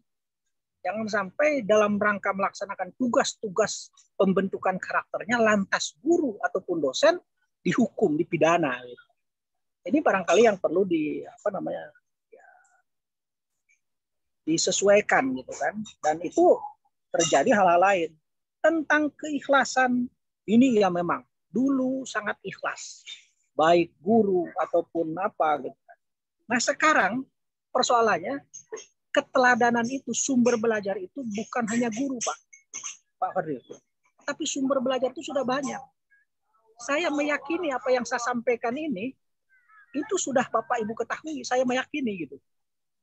Uh, ya, yang saya sampaikan ini sudah Bapak Ibu ketahui dan bisa dilihat di ini di Google di mana gitu. Jadi sumber belajar bukan hanya satu. Maka tentunya ini yang perlu oh, apa namanya? Yang perlu ditingkatkan adalah keteladanan. Kalau tentang pengetahuan sumber belajar itu sudah banyak. Kalau seorang guru, seorang dosen tidak memiliki keteladanan, uswah hasanah ini akan menyebabkan uh, si peserta didik ataupun murid ataupun santri itu tidak akan mengikuti apa yang kita katakan. Justru mereka akan membangkang karena memang melihat keteladanan tidak ada. Jadi menurut saya perlunya uh, apa namanya unsur keteladanan dalam pendidikan karakter, dalam pembentukan karakter. Karena kalau hanya bicara saja, kalau hanya ilmu pengetahuan saja, kalau hanya kecerdasan intelektual saja, sekarang Mbah Google jauh lebih pintar daripada kita kita gitu jauh lebih murid itu akan lebih bisa. Tapi yang tidak bisa ditransfer oleh Mbah Google adalah karakter. Adalah karakter building pembentukan karakter itu untuk meningkatkan kedisiplinan keteladanan ketegasan ini ini ada hal yang kontradiktif kata Pak Kodril di satu sisi eh, keadaannya begini tapi di sisi lain juga itu begitu oke okay. Itu barangkali Pak uh, Hodril dan tiga pertanyaan ini menjadi bahan diskusi yang sangat menarik yang saya kira ini juga akan menjadi bahan renungan dan kajian kita. Pak, terima kasih ya. Ya tadi terima kasih pemaparan Bapak, tapi ada sedikit yang mengganjal tadi Pak. Kita kan berbicara masalah ketegasan dan keikhlasan tadi Pak. Ya, ya. Kebetulan Bapak juga di pengurus PGRI gitu kan. Nah, ya. kita sesama kolega sebagai seorang pendidik gitu kan Pak. Pertanyaan saya Ya. gini Pak, sebetulnya ketika dulu guru-guru kita itu mengambil sikap untuk memberi hukuman-hukuman seperti itu yang kita rasakan berat sebetulnya Pak. Iya, Dari iya. situ sebetulnya yang dirasakannya Pak. Bisa jadi tidak disenangi, tidak populer, tidak segala macam gitu kan Pak. Jadi sekarang bagaimana sebetulnya kita bertindak Pak? Kenapa pertanyaan ini muncul ke di tengah kita yang banyak ini Pak? Karena tadi seperti yang dikatakan Bu Rina tadi Pak, dari attitude, dari karakter, itu kan berbicara masalah karakter kita Pak, soft skill anak-anak itu Pak. Itu sudah hilang Pak. Kalau kita berbicara masalah keikhlasan tadi Pak, kita menerima semacam keadaan seperti itu rasanya ti- tidak tidak tidak maksimal eh, usaha yang telah kita lakukan Pak. Iya, iya, iya. Nah, gini, nah, mohon lebih pencerahannya gitu Pak, terutama dari sisi PGRI sendiri itu sebetulnya kan tidak adakah upaya kita sebetulnya untuk meluruskan eh, seperti yang Bapak katakan tadi, kalau kita tarik ke tadi karakter eh, building dalam Islam, contohnya dalam menerapkan saf yang lurus dalam sholat itu, malahan ada kadang-kadang ada yang sebagian berpendapat dulu pedang, ada yang mengatakan rotan, gitu kan Pak. Nah, gitu Pak. Terima kasih Pak. Terima kasih. Eh, ada resiko dari profesi itu maksud Pak Hodil ya? Iya Pak, kalau kita bertindak sekarang kan yang seperti Bapak katakan keteladanan tadi Pak, rata-rata orang sekarang pengennya jadi seorang guru yang teladan, yang gimana, yang yang favorit gitu, yang setiap eh, tanggal 25 November itu mendapatkan bunga. Kalau dapat semua bunga itu terserah kepada dia gitu kan Pak. Kadang-kadang di situ yang yang jadi eh, prihatinnya kita di situ Pak. Ya Terutama betul, betul Pak. saya saya di SMK Pak dan juga saya sedikit berkecimpung dengan eh, keprofesian saya asesor eh, asesor FO untuk eh, perhotelan Pak. Ini yang tidak saya temukan Pak. Tidak saya temukan. Terutama ke dalam pekerjaan-pekerjaan yang yang sifatnya melayani itu Pak. Ke depannya kita baik Pak. Tapi di dalamnya itu kita diburu dengan tanggung jawab dan waktu Pak. Kadang-kadang komunikasi itu memang agak-agak kurang-kurang gimana ya Pak ini kebanyakan yang sering saya alami Pak, kebetulan saya dapat informasi putus asa anak-anak itu Pak ketika ada bentak atau didesak gitu Pak. Mungkin itu lebih pendalamannya Pak. Terima kasih Pak. Oh, terima kasih ya. Saya menanggapi Pak. berada ya, ada yang Boleh. menanggapi? Boleh Pak? Bisa Ya, izin menanggapi Pak? Ya, boleh, silakan Bu. Ya mungkin dengan apa yang disampaikan Pak Hodril itu memang eh, di lapangan memang itulah yang terjadi Pak.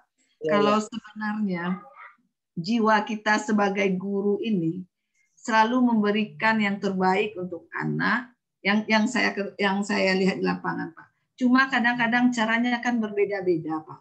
Kemudian juga ada tingkatan-tingkatan kita dalam eh, pembentukan karakter anak gitu.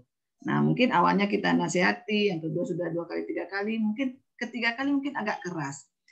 Tapi memang anak-anak sekarang itu rentan sekali dengan hal-hal seperti itu, Pak. Kalau kita kerasi sedikit, mereka merasa kita nggak sayang lagi sama mereka, gitu kan. Nah, selalu guru favorit itu kalau seperti apa yang disampaikan Pak Hodril gitu ya, yang menjadi apa eh, bagi mereka itu yang kadang-kadang yang mengiyakan saja eh, yang sesuai dengan kemauan mereka gitu. Padahal kadang-kadang kita kan membentuk karakter tidak mereka lah yang harus kita atur, bukan kita yang diatur oleh mereka. Gitu. Nah kadang-kadang mereka akan tidak menyadari dengan hal-hal seperti itu. Kemudian dilematis kita dengan orang tua juga seperti itu Pak. Sering sekali kita merasakan mungkin perbedaan pendidikan di rumah dan di sekolah gitu kan. Mereka nggak biasa uh, uh, dibuat uh, keras gitu kan. Sehingga kadang-kadang ketika kontradiktif dengan di sekolah mereka nggak menerima gitu. Kemudian kita juga tidak ada support dari uh, uh, rumah misalnya, sehingga anak-anak sendiri merasakan ada kontradiktif hal-hal seperti itu. Gitu.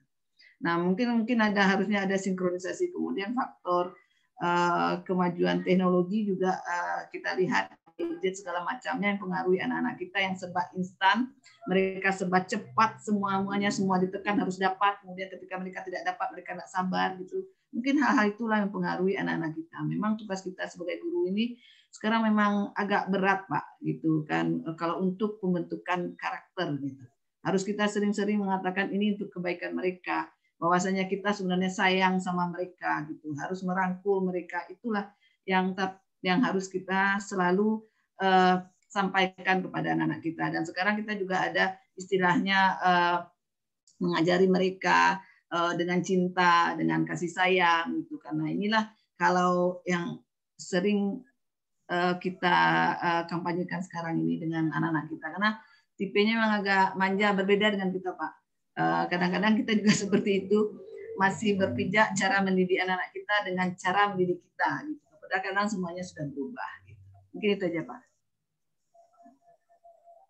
Oke, terima kasih. Mungkin Pak, maksudnya saya tajamkan lagi Pak. Saya kan mintanya tadi perspektifnya, bukan dari artinya program rekening dengan cinta atau semacam perspektifnya dari segi sisi Islam, pembangunan karakter segi Islam dan apa tadi kan jelas Pak e, dari aturan-aturan pemerintah Republik Indonesia gitu Pak. Kan di, seperti saya contohkan tadi untuk meluruskan saf itu ada sebagian yang meyakini kalau dulu tuh menggunakan rotan, ada yang menggunakan pedang. Itu kan pembentukan sebetulnya keteraturan, Pak. Gitu, Pak. Terima kasih, Pak. Oke, terima kasih. Um, saya sekali lagi, Pak Hodril membandingkan masa dulu dengan masa sekarang kan gitu. Jadi sekarang ada resiko besar. Kan begitu? Eh, dibuka saja Pak Hodil ya, suara Pak Hodil.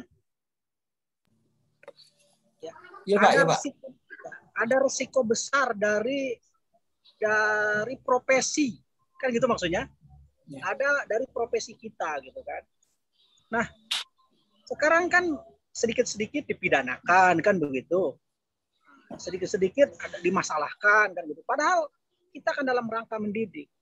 Nah, yang ingin Pak Fadril inginkan dari dari pertanyaan yang diajukan dalam perspektif Islam bagaimana caranya kan begitu. Ya. Nah, dalam perspektif Islam um, mendidik itu tarbiyah ya tarbiyah dalam dalam Islam namanya itu tidak tidak berbeda dengan dakwah. Dakwah itu adalah mengajak kepada kebaikan, melarang amar ma'ruf nahi munkar. Itu tidak tidak jauh berbeda. Nah, mendidik juga adalah amar ma'ruf munkar ada metodologi dalam metodologi dalam Al-Quran, dalam perspektif Islam. Jadi ketika kita berbicara perspektif Islam, ini perspektif dengan uh, apa namanya perspektif Al-Quran. Di dalam Al-Quran berbunyi begini, A'udzubillahi minasyaitonirrajim, Ud'u ila sabili rabbika bil hikmah wal mau'idotil hasanah wajadilhum billati hiya ahsan. Di cara mendidik itu ada tiga, Pak. Ya, yang pertama bil hikmah, ini dalam perspektif Al-Quran ya. Yang pertama bil hikmah, dengan penuh hikmah, arif, bijaksana. Saya setuju dengan apa yang disampaikan Pak Hodil, ada keikhlasan dari dalam. Memang kita ingin mentransfer, membentuk karakter anak didik. Dengan penuh hikmah, arif, bijaksana dari kita. Begitu. Yang kedua, ada tingkatan, kata Ibu Rira tadi, ada tingkatan yang kedua wal mau'idotil hasanah. Wal mau'idotil hasanah itu adalah nasihat yang baik. Kata yang lembut, kata yang baik gitu kan. Nah, nah ketika itu tidak bisa juga ada tingkatan yang selanjutnya wajadilhum billatihi ahsan. Wajadilhum billatihi ahsan dalam Al-Qur'an. Saya lupa ayatnya, entah An-Nahl entah apa. Saya lupa ayatnya, suratnya, cuman ada dalam Al-Qur'an itu. Nah, yang ketiga adalah wajadilhum billatihi ahsan ajaklah mereka berdebat, diskusi dengan cara yang terbaik. Dengan cara yang terbaik. Artinya eh, kita juga tidak masalah diajak mereka mengajak seperti itu. Jadi ada tingkat-tingkatan. Yang pertama hikmah, yang kedua ma'idotil hasanah, yang ketiga wajah dilumbilati hasan. Diajak berdiskusi, berdebat dengan cara yang terbaik. Tidak emosional, diajak berpikir untuk nalar mereka jalan. Nah ini ini tingkatannya. Kemudian yang terakhir ada prinsip Bashiro wa nadhiro. Bashiro kabar gembira bagi mereka yang taat. Maksudnya Bashiro adalah kita memberi reward ketika mereka berbuat baik, ketika mereka berprestasi. Tetapi ingat ketika mereka melanggar, ada wanadhiro. Kita beri peringatan dalam bahasa kita adalah punishment. Kita beri hukuman tentu hukuman yang sesuai dengan kondisi saat ini gitu Pak. Nah, kondisi saat ini maksudnya Dulu saya dipukul nggak masalah, di rotan nggak masalah, bahkan kenangan terindah saya ingat di rotan juga dulu pak, gitu. Tetapi karena kondisi teknologi semakin maju, kondisi semakin lain, tentu ini perlu disesuaikan bagaimana cara kita memberikan punishment, penyesuaian atas punishment yang ada. Jadi konsepnya itu pak, pertama hikmah, kedua wal mau itu hasanah dalam persepsi Islam, yang ketiga baca di hasan, dan terakhir kita harus tetap memberi reward and punishment. Memberi punishment ketika mereka bersalah, memberi penghargaan ketika uh, kita uh, ketika anak itu berprestasi. Jadi tetap prinsipnya kita tidak hanya punishment saja, tetapi ada reward. Kadang-kadang kita yang terlupa. Saya juga kan pendidik, Pak. Saya panjang proses saya. Saya pernah menjadi guru SD, Pak. Saya pernah menjadi guru sanawiyah, saya pernah menjadi guru SMA gitu, saya pernah menjadi dosen, maaf keseharian saya juga di masyarakat saya sering di narasumber memberikan berbagai macam ceramah gitu kan. Yaitu tadi pak. Jadi penyesuaian tadi. Kemudian dalam hadis lagi itu perspektif Al-Quran. Dalam perspektif hadis man amin kun munkaron yughayyiruh biadi apabila melihat sesuatu ketidakbaikan rubahlah dengan kekuasaan dengan tangan bukan dengan pukulan tapi dengan kekuasaan kita sebagai guru tentu punya kekuasaan bagaimana mengendalikan siswa maksudnya mengajarkan siswa dengan berbagai macam dalam berbagai macam hal dalam membentuk karakter dan lain sebagainya. Kemudian eh, Paul yugoyul biadi fa'ilam yastati fabilisani. Uh, kalau kita tidak punya kekuasaan baru kita dengan lisan. Wal mau izatil hasanah tadi. Nah kemudian yang terakhir kita memakainya dengan um, fabi qalbih dengan hati. Minimal kita Eh, menahan diri ketika memang tidak memungkinkan kita untuk menyampaikan dan berkomentar yang lain dan di sanalah kita berdoa supaya anak kita, anak didik kita juga diberikan Tuhan hidayah kebaikan. Jadi ingat kita sebagai seorang guru pun harus senantiasa mendoakan anak didik kita uh, agar mereka berada dalam kebaikan. Saya uh, juga begitu. Bapak Ibu mendoakan saya, saya pun mendoakan Bapak Ibu karena di antara kita telah ada interaksi sosial seperti ini gitu. Nah ini uh, dalam perspektif uh, Al-Quran dan hadis. Demikian Pak. Izin Pak. Izin Pak. Ya silakan. Ibrahim Pak. Ya silakan Pak. Ya oh, begini Pak. Mungkin persoalan bagaimana kita mendidik anak ini kemudian kita mencoba untuk menostalgiakannya dengan pola pendidikan gaya lama itu mungkin uh, iya. sering kita dengar pak tapi iya, uh, iya. sejauh yang saya ketahui uh, membuktikan keberhasilan sebuah pendidikan itu bukan dilihat dari metode atau dari bagaimana lembaga pendidikan atau guru mengajar anaknya tapi kita lihat dari hasilnya hasilnya itu adalah uh, seperti apa perilaku dari anak yang kita ajarkan maka kita lihat keberhasilan itu adalah dari uh, perilaku dari orang-orang yang telah melalui proses belajar terhadap sebuah lembaga. Nah, ya, ya. kalau kita berangkat dari uh, metode lama, maka hasil dari metode lama itu adalah uh, orang-orang yang sekarang menjadi uh, pemimpin bangsa ini, Pak. Karena mereka adalah semuanya produk-produk uh, mungkin kurang lebih segenerasi dengan Bapak lah gitu. Nah, uh, kita lihat fakta uh, cara mereka mengelola sebuah bangsa hari ini itu sepertinya uh, kalau kita bisa jujur itu memang jauh dari apa yang kita harapkan sebuah bangsa yang ideal gitu. Yang pertama memang peduli terhadap uh, masyarakatnya, menyayangi masyarakatnya, mencintai masyarakatnya, dan kemudian benar-benar peduli terhadap uh, apa yang kita rasakan dan penderitaan yang dirasakan oleh masyarakatnya. Nah, kembali kita kepada proses pendidikan yang mereka lalui, maka tidak lebih dan tidak kurang seperti apa yang kita bicarakan barusan, bahwasanya mereka lahir dari pola pendidikan yang memang bisa dikatakan cukup keras dalam tanda kutip, oh, seperti yang kita bicarakan. Nah, kalau kita berangkat dari perilaku-perilaku, walaupun ini tidak bisa di general ya Pak ya, tapi ya, ya. Oh, kalau kita berangkat dari apa yang fakta di lapangan ketika pemimpin negara kita dipimpin oleh generasi-generasi dengan pola pendidikan yang seperti KT bicarakan, sepertinya ada yang perlu dipertanyakan.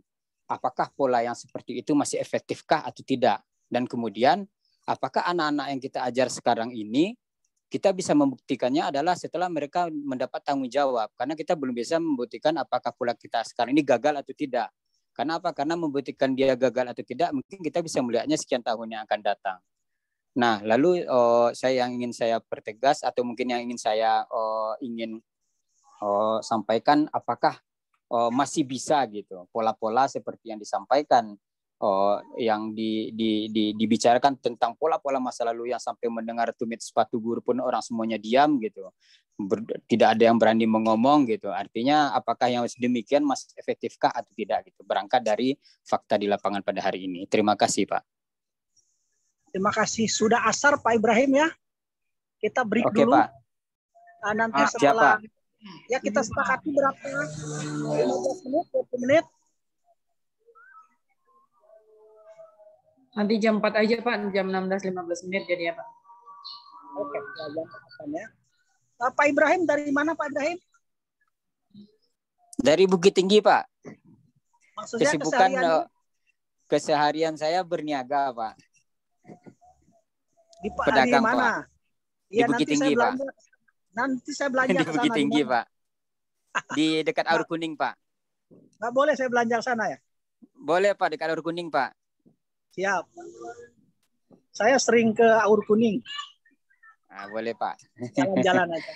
Ya Pak, Iya, sekarang Pak. azan ya. Kita masuk jam 4 berapa? Empat sepuluh boleh juga Pak. Empat lima. 4.10 ya. Ya, Ya. 15 menit kita ya. 4.10 deh. Iya, iya. Makasih ya. Saya sholat dulu ya. Ya Pak, sama-sama Pak. Kita sholat Pak. Mana suaranya nih?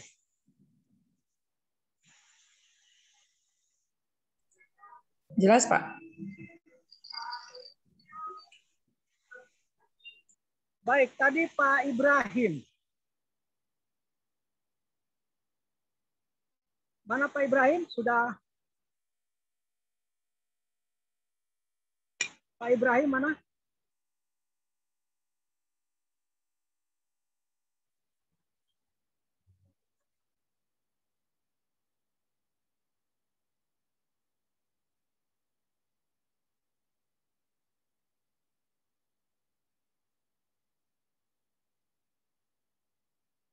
Sudah bisa dilanjut atau gimana? Sudah, Pak.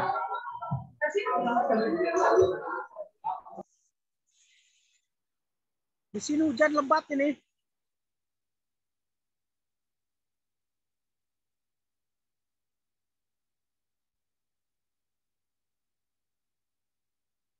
Baik, Pak Ibrahim.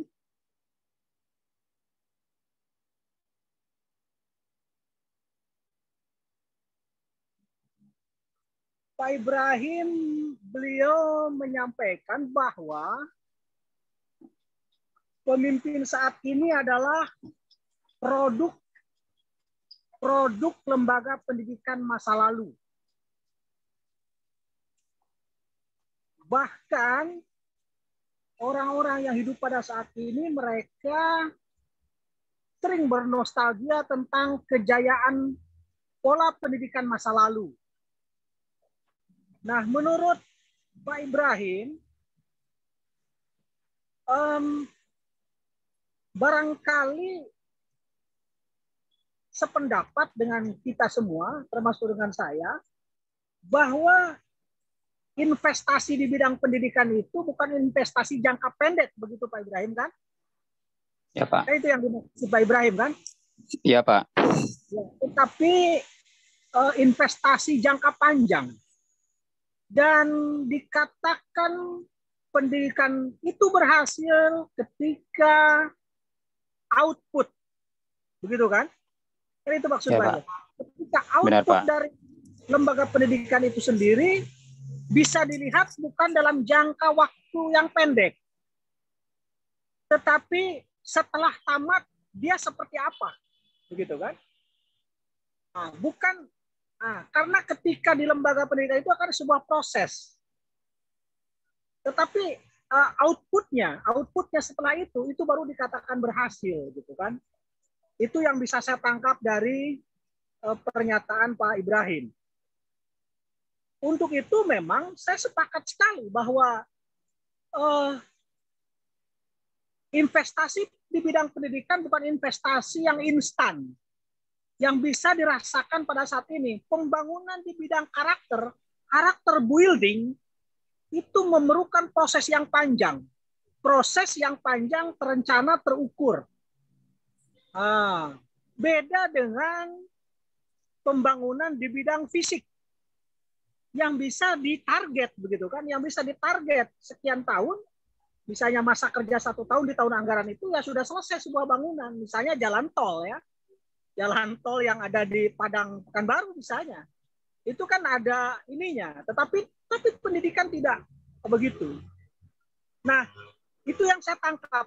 Nah yang Pak Ibrahim pertanyakan di mananya gitu, di mananya gitu. Silakan. Apakah uh, pola seperti yang dinostalgiakan itu masih efektifkah atau tidak uh, untuk diterapkan di masa sekarang? Karena memang uh, nostalgia ini sepertinya memang selalu berulang-ulang dalam masalah ketika melihat persoalan pendidikan pada hari ini dalam membangun karakter anak-anak uh, kita gitu. Itu Pak. Oke, terima kasih. Pertanyaannya, masih efektifkah pola pendidikan masa lalu yang sering kita nostalgiakan itu? Kan begitu. Saya kira ada kaidah usul fikih mengatakan kita mesti mengambil sesuatu yang baik dari yang masa lalu, gitu kan? Dengan tidak menghilangkan sesuatu yang apa namanya, mengambil yang baik dari masa lalu dengan menyesuaikan dengan masa yang ada sekarang. Jadi saya kira efektif Pak dalam hal-hal tertentu. Tetapi tentunya perlu adaptasi. Nah, pada yang saya sampaikan dari awal tadi, itu ada soft skill ya, ada soft skill kita, kemampuan manajemen soft skill kita itu pada poin 4 itu tentang adaptasi. Perlu adaptasi dengan perkembangan yang ada pada saat ini. Tentunya ketika kita masih main rotan pada saat ini, itu juga tidak zamannya lagi. Kemudian ada pola-pola yang masa lalu yang bisa dipertahankan, tentunya juga tetap kita pertahankan. Tetapi ingat, tentu tidak semua yang masa lalu itu yang bisa kita terapkan walaupun itu baik pada saat ini gitu. Ada penyesuaian-penyesuaian dengan kondisi yang ada pada saat ini. Itu menurut uh, pemahaman saya, Pak Ibrahim. Silakan. Oh iya Pak. Ya. Di, boleh direspon Pak? Ya boleh, boleh. Silakan kita diskusi kan. Iya, iya. Karena oh, begini ya Pak ya. Oh, kalau kita perhatikan, oh, memang seperti yang disampaikan di materi Bapak tadi kan salah satu oh, salah tiganya adalah seperti kognitif, afektif, dan psikomotor. Kemudian nilai kejujuran dan lain-lainnya gitu. Nah, sekarang oh, yang tidak kelihatan itu dalam pembangunan karakter itu seperti di masa lalu gitu. Kalau kita perhatikan pendidikan masa lalu itu sangat anti sekali dengan perilaku-perilaku oh, anak oh, siswa-siswa atau anak didik. Anak didik yang memang punya perilaku seperti yang suka berjalan di dalam kelas misalnya seperti itu. Kemudian yang suka meribut di dalam kelas kemudian yang suka coret-coret oh, meja gitu. Nah oh saya nggak melihat gitu.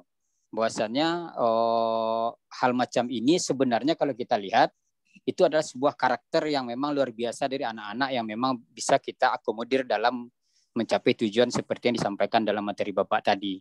Nah, kemudian oh, kalau kita lihat di masa lalu, ketika ini dilihat sebagai sebuah masalah dalam dunia pendidikan, tapi ketika di, di riset dan diteliti oleh uh, para uh, orang-orang yang berkompeten di bidangnya, ternyata ini adalah sebuah gaya belajar.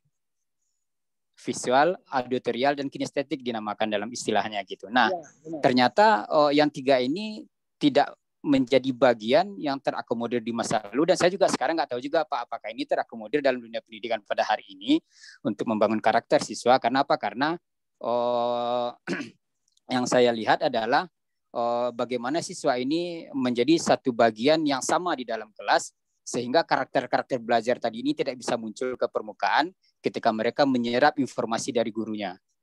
Nah, sehingga apa? Sehingga oh, sepertinya walaupun zaman dahulu uh, cara me, me, me, me, meredam perilaku yang tiga tadi dengan cara memakai rotan, sekarang juga itu berusaha juga diredam gitu. Walaupun tidak dengan rotan. Nah, di situ juga muncul persoalan selanjutnya walaupun memang Bapak katakan ada beberapa hal yang mungkin tidak bisa kita pakai dengan cara yang masa lalu, tapi ada juga yang bisa kita pakai. Tapi kita juga perlu memilah-milahnya dan butuh riset juga mana yang efektif, mana yang tidak, mana yang bisa dipakai atau tidak gitu. Tapi berangkat dari itu karena uh, kita perhatikan ini mohon maaf Pak mungkin sedikit melebar gitu. Ya. Karena dari beberapa yang kita baca gitu kan dan kita dengar juga bahwasanya seperti anak laki-laki dan anak perempuan memiliki perkembangan perkembangan otak yang berbeda. Mungkin kita sama-sama tahu kalau laki-laki itu lebih banyak otak kanan, kemudian perempuan kedua otaknya berkembang secara bersamaan dan ternyata memiliki penanganan yang berbeda. Dalam pendidikan Islam, saya berpikir kenapa pesantren itu dipisahkan antara perempuan dengan laki-laki bukan hanya persoalan uh, tidak uh, tidak bukan persoalan hanya tidak mahram saja, tapi ada pola pendekatan uh, pembentukan karakter yang berbeda antara laki-laki dengan perempuan. Nah, kemudian apakah ini menjadi bagian juga yang diakomodir oleh sistem pendidikan kita sekarang pada hari ini. Dan yang dahulu pun saya juga nggak tahu karena itu juga tidak diperhatikan oleh sistem pendidikan yang masa lalu. Nah, dan saya berpikir mungkin inilah bagian yang perlu kita perhatikan daripada kita bernostalgia dari dari uh, dengan sistem pendidikan masa lalu. Mungkin seperti itu kira-kira Pak respon saya Pak. Terima kasih. Oke, nah, terima kasih. Jadi saya katakan kita diskusi ya. Jadi tidak mutlak yang saya sampaikan itu adalah sebuah kebenaran. Nah, gitu kan. Tetapi kita berdiskusi. Saya setuju Pak. Bahwa ketika perilaku anak di masa lalu gitu kan. Yang sering berjalan bolak-balik mondar-mandir di kelas itu sebuah kesalahan. Kan begitu Pak. Dianggap itu ribut, mengganggu kelas. Tetapi pada kemudian ada riset yang mengatakan bahwa itu adalah kecerdasan kinestetik apa nama? Kecerdasan gerak apa namanya? Ya, kinestetik. Kinestetik. Eh, apa namanya? Kecerdasan gerak. Karena kadang ada olah rasa olahraga itu kan? Olah pikir kan gitu. Jadi ada kecerdasan uh, psikomotorik begitu kan ada kecerdasan di bidang gerak gitu kan nah saya kira itu salah satu hal yang memang perlu ada uh, apa namanya penelitian ulang dari hal-hal yang seperti itu. Dulu mungkin dianggap sesuatu yang aneh, tetapi para peneliti menganggap ini sesuatu yang memang bagian dari kecerdasan yang mesti dikembangkan pada diri anak, gitu kan. Nah, kemudian um, saya kira tentang perspektif pendidikan dalam Islam, apakah dengan cara rotan itu juga efektif apa tidak kan gitu? Apakah juga itu sesuatu hal yang dilarang apa tidak? Kan ada hadis yang mengatakan ketika anak sudah berumur tujuh tahun, kan maka maka suruhlah untuk melaksanakan sholat. Ketika tidak sholat juga, maka pukullah di saat berumur 10 tahun dan pisahkanlah tempat tidurnya, kan begitu. Nah, makna pukul di sini itu dalam makna yang tidak tekstual, tetapi kontekstual. Maksudnya bukan pukul fisik saja, tetapi ada eh, kedisiplinan yang mesti ditegaskan kepada anak tentang hal yang mesti disampaikan, yang mesti diajarkan kepada anak. Saya kira seperti itu gitu. Jadi tidak semuanya bersifat tekstual. Saya setuju eh, kita tidak bernostalgia dengan model pendidikan masa lalu yang memang telah menghasilkan produk pemimpin pada saat ini, tetapi ada adaptasi. Maka saya katakan uh, adaptasi itu bagian dari soft skill kita, kemampuan hal yang harus kita kembangkan. Nah, sebagai pendidik ataupun sebagai peneliti tentu ini perlu semacam reinterpretasi. Uh, perlu pemahaman ulang terhadap sesuatu yang di masa lalu dianggap sesuatu yang tidak baik.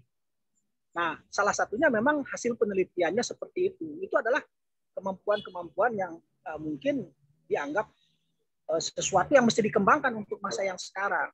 Saya kira uh, itu yang bisa disampaikan tentang tanggapan dari Pak Ibrahim. Ya. Oke, Kemudian, Pak. ya oke. Okay. Saya melanjutkan materi ya.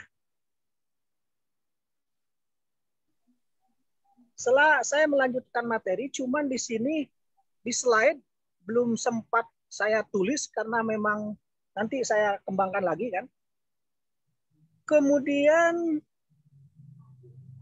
tentang karakter building, tentang pembentukan karakter, tentunya kita mesti memahami tentang makna sehat. Ini menurut pemahaman saya. Um, orang yang dikatakan memiliki karakter yang baik ada hubungannya dengan definisi sehat. WHO pada tahun 1947 1947 mendefinisikan bahwa orang sehat itu adalah sehat secara bio, psiko dan sosio. Ya. Jadi WHO mendefinisikan orang sehat itu adalah orang yang secara bio, psiko dan sosio itu sehat. Maksudnya secara biologi, secara fisik uh, dia orang yang sehat. Kemudian secara psikologi, secara kejiwaan juga dia sehat dan secara sosial juga sehat. Jadi yang dikatakan sehat menurut WHO tidak hanya fisiknya saja, tetapi mental. Mentalnya juga mesti sehat, kejiwaannya juga mesti sehat. Makanya untuk menjadi uh, pejabat, menjadi PNS sekarang kan ada tes kejiwaan. Ya, ada tes kejiwaan. Saya juga pernah uh, diperiksa di apa nama oleh dokter jiwa untuk salah satu syarat. Menjadi dosen juga ada syaratnya tahunya. Harus dites kejiwaannya. Jangan-jangan nanti yang diajarkan nggak karu-karuan. Nah, ini pentingnya kali. Untuk mendapatkan NIDN nomor induk dosen nasional itu tahunya perlu itu. Jadi ada tes psikologinya saya diujinya bahkan ditanya hal-hal yang sepele sampai dokter juga ketawa pak maaf katanya saya harus memastikan bapak ini sehat apa tidak secara psikologi gitu kan ya ringan-ringan saja. Tetapi bagi orang yang secara fisiologi tidak sehat, pasti menjawabnya ngawur, ngelantur gitu, nggak karu-karuan. Nah ini, jadi yang pertama fisik itu jelas kan. Kemudian yang ketiga adalah sosial. Secara sosial. Jadi orang ada orang yang secara fisik dia sehat, secara psikologi dia sehat, tetapi secara sosial, secara sosial kemasyarakatan dia tidak sehat. Dalam bahasa agamanya habluminanasnya itu kena hubungan human relationnya itu kena. Cara dia beradaptasi, cara dia berkomunikasi, cara dia bernegosiasi, cara dia melakukan interaksi sosial itu banyak yang lemah sekali. Bahkan ada orang yang kalau dia bicara orang sakit hati gitu. Asal dia ngomong, ya kan itu sakit hati. Saya saya juga di organisasi, di berbagai macam organisasi. Ada salah satu teman, tentu nggak mungkin saya katakan di sini, asal dia sudah tunjuk tangan, sudah bicara. Ah, secara sosial orang udah oh pasti ini sesuatu yang melukai gitu kan. Ah, berarti secara sosial, secara komunikasi sosial, interaksi sosial dia agak terganggu gitu. Maka wajar WHO mendefinisikan yang dikatakan orang sehat itu adalah orang yang secara bio, psiko dan sosio itu sehat. Biologis, uh, psikologis dan sosial. Itu pada tahun 1947. Kemudian pada tahun 1984 WHO menambah satu lagi, ya, menambah satu lagi dari empat dari tiga itu menjadi empat. Ada ditambah satu lagi, bio, psiko, sosio dan spiritual. Jadi tambah spiritual. Ah, menurut WHO yang dikatakan sehat itu adalah spiritual. Baik secara fisik dia sehat, secara psikologi dia sehat, secara sosial dia sehat, tetapi ketika sampai sosial saja dia sehat, sementara dia secara spiritual tidak sehat, maka menurut WHO itu tidak dikatakan orang sehat. Sehebat apa pun hablum minanas dia, kemudian komunikasinya baik, negosiasinya bagus, uh, ne, pen, apa, negosiator ulung, komunikator, dia seorang orator, mampu meyakinkan orang. Tapi ketika secara spiritual dia tidak sehat, dia tidak uh, apa namanya unsur yang harus dimotivasi dalam karakter buildingnya tentang unsur ibadah, tentang unsur kejujuran secara spiritual tidak ada, maka menurut WHO pada tahun 1984 ditambah lagi satu yaitu spiritual itu tidak dikatakan orang sehat ketika hanya terhenti pada biopsikososial. Ada satu lagi tentang uh, spiritual. Nah, berarti pembentukan karakter itu ya, pembentukan karakter building, pembentukan karakter itu eh, perlu adanya menyesuaikan definisi dari yang empat tadi, yang tambahan tadi, yaitu adalah spiritual. Maka ketika kita berbicara tentang karakter building dalam Islam, tentunya kita tidak bisa lepas dari sumber-sumber ajaran gitu, daripada sumber-sumber ajaran. Bagaimana dia dikatakan seorang sehat secara spiritual ketika sumber ajarannya itu tidak pernah dia maaf, tidak pernah dia baca, tidak pernah dia pelajari, tidak pernah ada hal-hal yang menjadikan dia ingin untuk itu gitu kan. Ingat karakter building kita ini tidak terlepas baik itu karakter building selaku bangsa, selaku warga negara, kemudian selaku masyarakat, ada budaya di sana dan tentunya adalah karakter building dalam hal keagamaan. Dalam konteks ini karena kita semua adalah eh, umat Islam di sini, maka tentu karakter bully ini dalam perspektif Islam. Nah, ketika kita berbicara tentang spiritualitas, maka kita berbicara tentang spiritual keagamaan dalam konteks keislaman di sini. Nah, itu barangkali uh, ending dari uh, pembentukan uh, karakter atau karakter building dari apa yang kita sampaikan pada sesi hari ini. Maka kita lihat pada pada apa namanya selain kita, yang terakhir unsur yang harus dimotivasi ada di sana unsur ibadah. Jadi ibadah itu bukan hanya eh, terhenti pada rutinitas ritual, tetapi ada dampak dampaknya ya, dampak dari eh, dari ibadah spiritual itu kepada kepada kehidupan sosial gitu kan. Makanya benar ketika Allah mengatakan inna sholata tanha anil fahsyai wal munkar. Sesungguhnya sholat itu mencegah dari perbuatan keji dan munkar. Maka ketika sholat itu dianggap berhasil, ibadah itu dianggap benar, sholat itu ketika dia mampu uh, mencegah dari segala perbuatan perbuatan yang tidak baik, dari menghindari dari kemungkaran-kemungkaran. Nah itu tentang spiritualitas. Jadi orang yang dimaksud uh, berkarakter baik itu adalah seperti yang dikatakan dalam Al-Quran. Duribat sukitu illa minallah wa. Dia akan terhina, dia eh, tidak akan nyaman hidupnya ketika dia tidak mampu menjaga komunikasi vertikal dan komunikasi horizontal. Komunikasi vertikal dalam bahasa Al-Qur'annya itu adalah hablum minallah dan komunikasi uh, horizontal disebut dengan hablum minanas. Jadi ketika kita berbicara tentang spiritualitas, maka kita ada dua komunikasi yang mesti kita jaga, komunikasi vertikal dan komunikasi horizontal.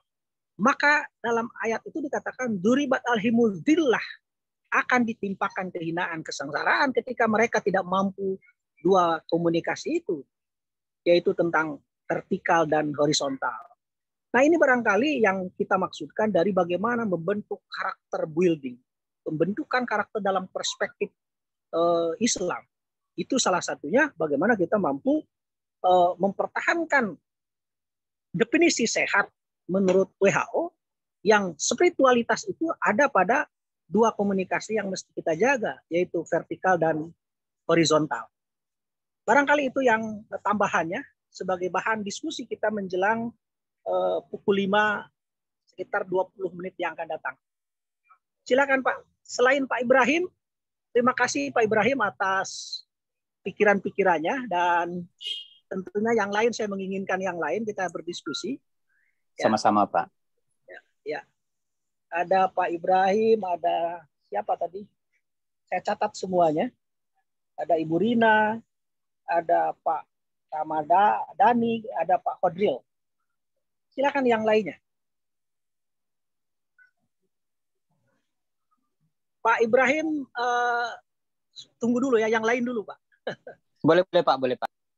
Ya, ya, yang lain dulu, silakan. Ini sudah pada makan ini belum? Kayaknya belum semangat nih. Pak, yang lain dulu. Yang lain dulu. Nanti Bu. Ibu Rina nanti ya. Ada yang lain. Kalau enggak ada yang lain baru nanti. Saya mohon yang lainnya juga.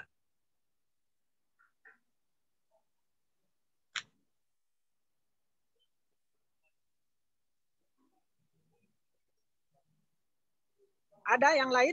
Silakan. Saya tunggu yang lain dulu. Ada yang lain?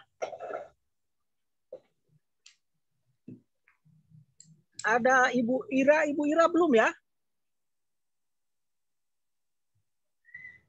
Ada Ibu siapa? Sasliza ya. Silahkan. Silahkan nilai yang lainnya. Ada ada yang lainnya silakan. Ada Ibu Metra, Metra Linda. Silakan. Ada Bu, silakan. Hmm, belum ada Pak, mungkin lanjut aja dulu.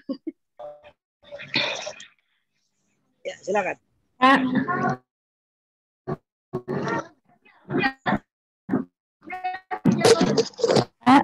Pak Nono Aprianto.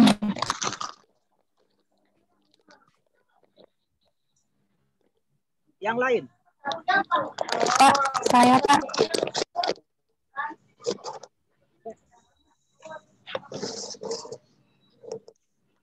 Saslizawati, Pak. Iya, silakan.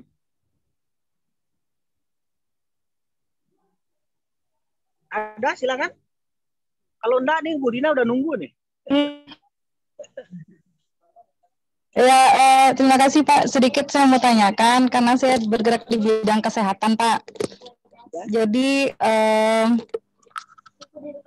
eh, kalau eh, saya saya seorang perawat, Pak. jadi di masyarakat kan eh, perawat eh, dihina, dipuja itu biasa menurut saya. Nah, eh, yang ingin saya tanyakan, bagaimana cara membangun eh, karakter yang lebih baik lagi di eh, di bidang kesehatan ini, khususnya untuk perawat. Gimana? eh, apakah Bapak punya saran-saran tertentu untuk eh, meningkatkan eh, karakter bagi tenaga-tenaga kesehatan kita di Indonesia, eh, untuk perawat khususnya? Terima kasih, Pak. Terima kasih, Bu. Ini Ibu perawat ya. Gimana cara jawabnya ya?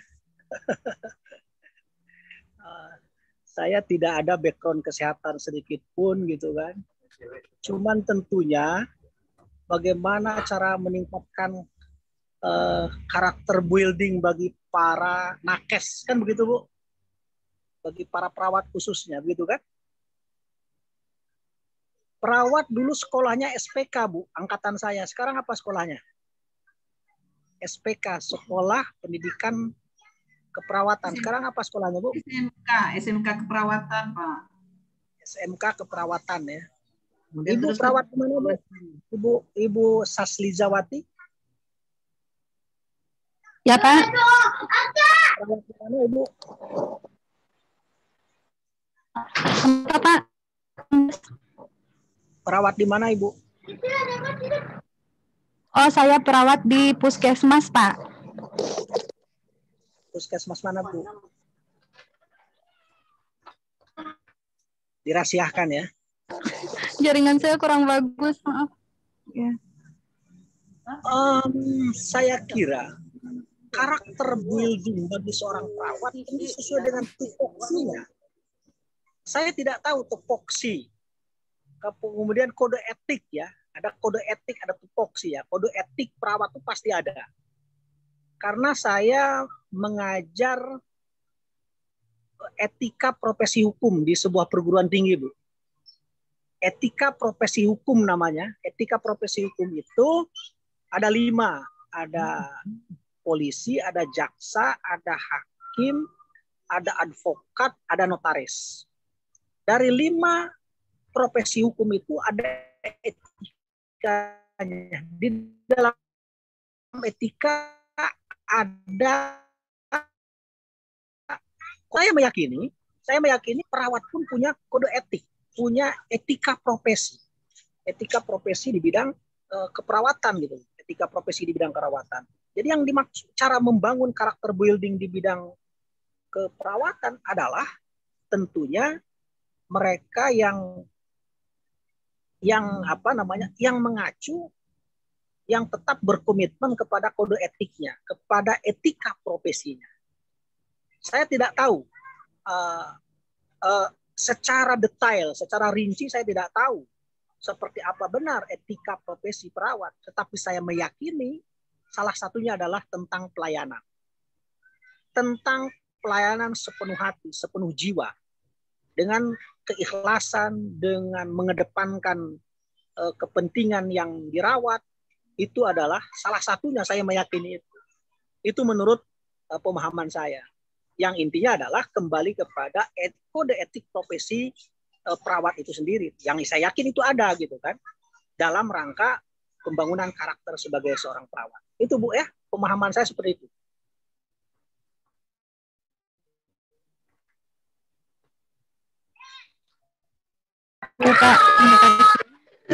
Ya itu Bu. Uh, maaf Pak, saya nggak ya, bisa ya. terlalu panjang-panjang soalnya jaringan saya nggak terlalu bagus Pak. Tapi makasih atas tanggapan Bapak. Oke, ya silakan Ibu Rina. Penasaran kali itu Bu Rina. Ya Pak. Ya. Ya Pak. Uh, sedikit mengenai oh, pendidikan berbasiskan Islam ini Pak.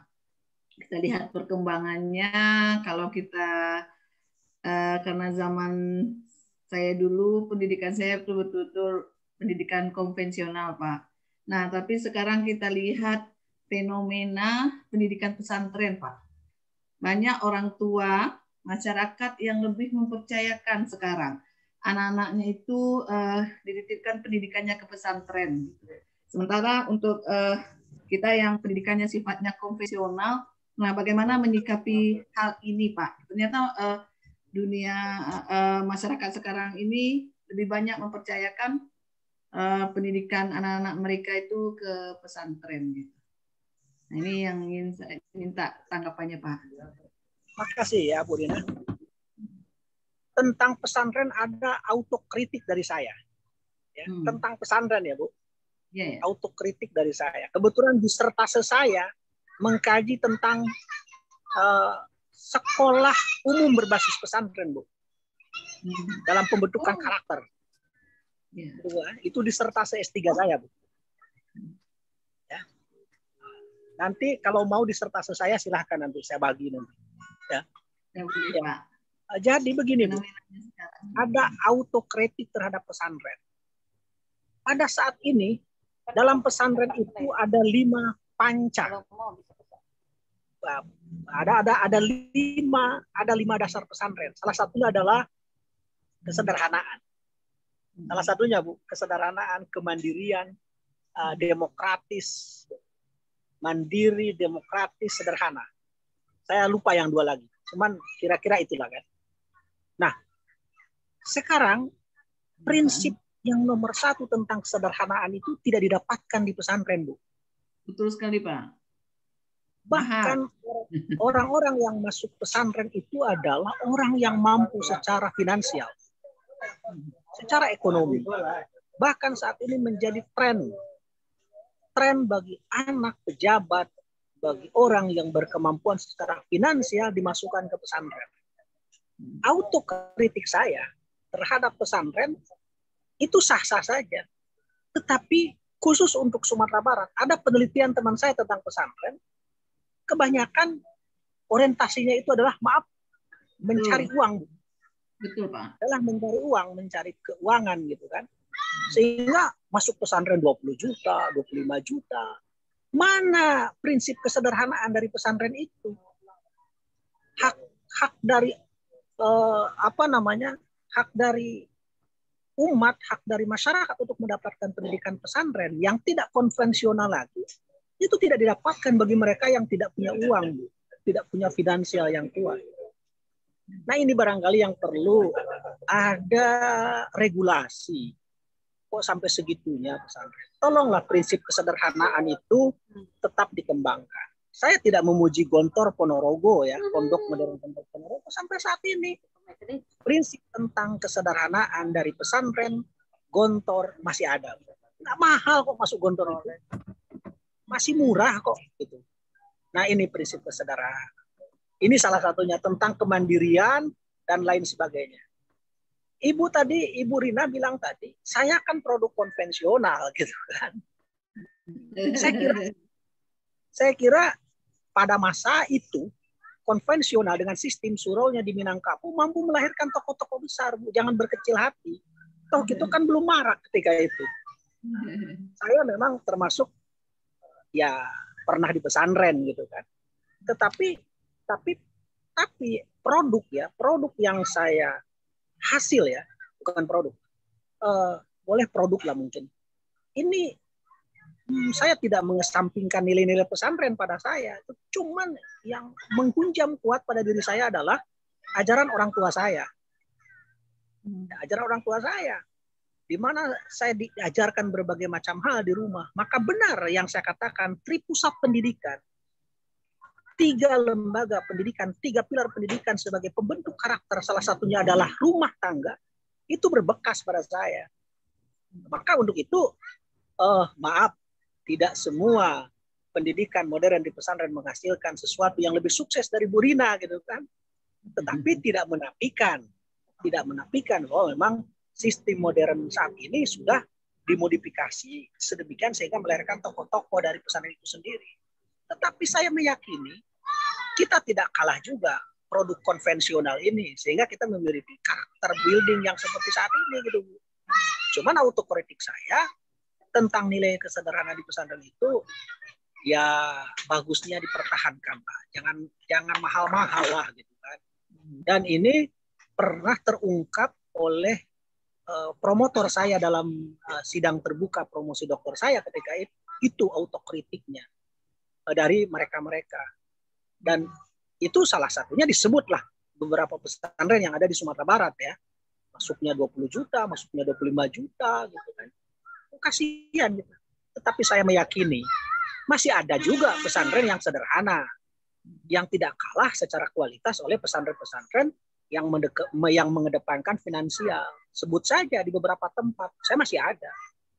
Dan sistem yang ada di Minangkabau itu tetap aja dengan modifikasi sistem yang ada pada saat ini eh, masih tetap ada untuk pendidikan yang bersifat konvensional. Saya, Bu, ada di suatu masjid itu di setiap subuh ada tiga kali subuh ada kajian. Ada tafsir Quran, ada uh, kitab al-hikam, dan ada tentang akidah. Nah itu kan bukan formal, bukan pesantren, konvensional istilah Ibu Rina tadi.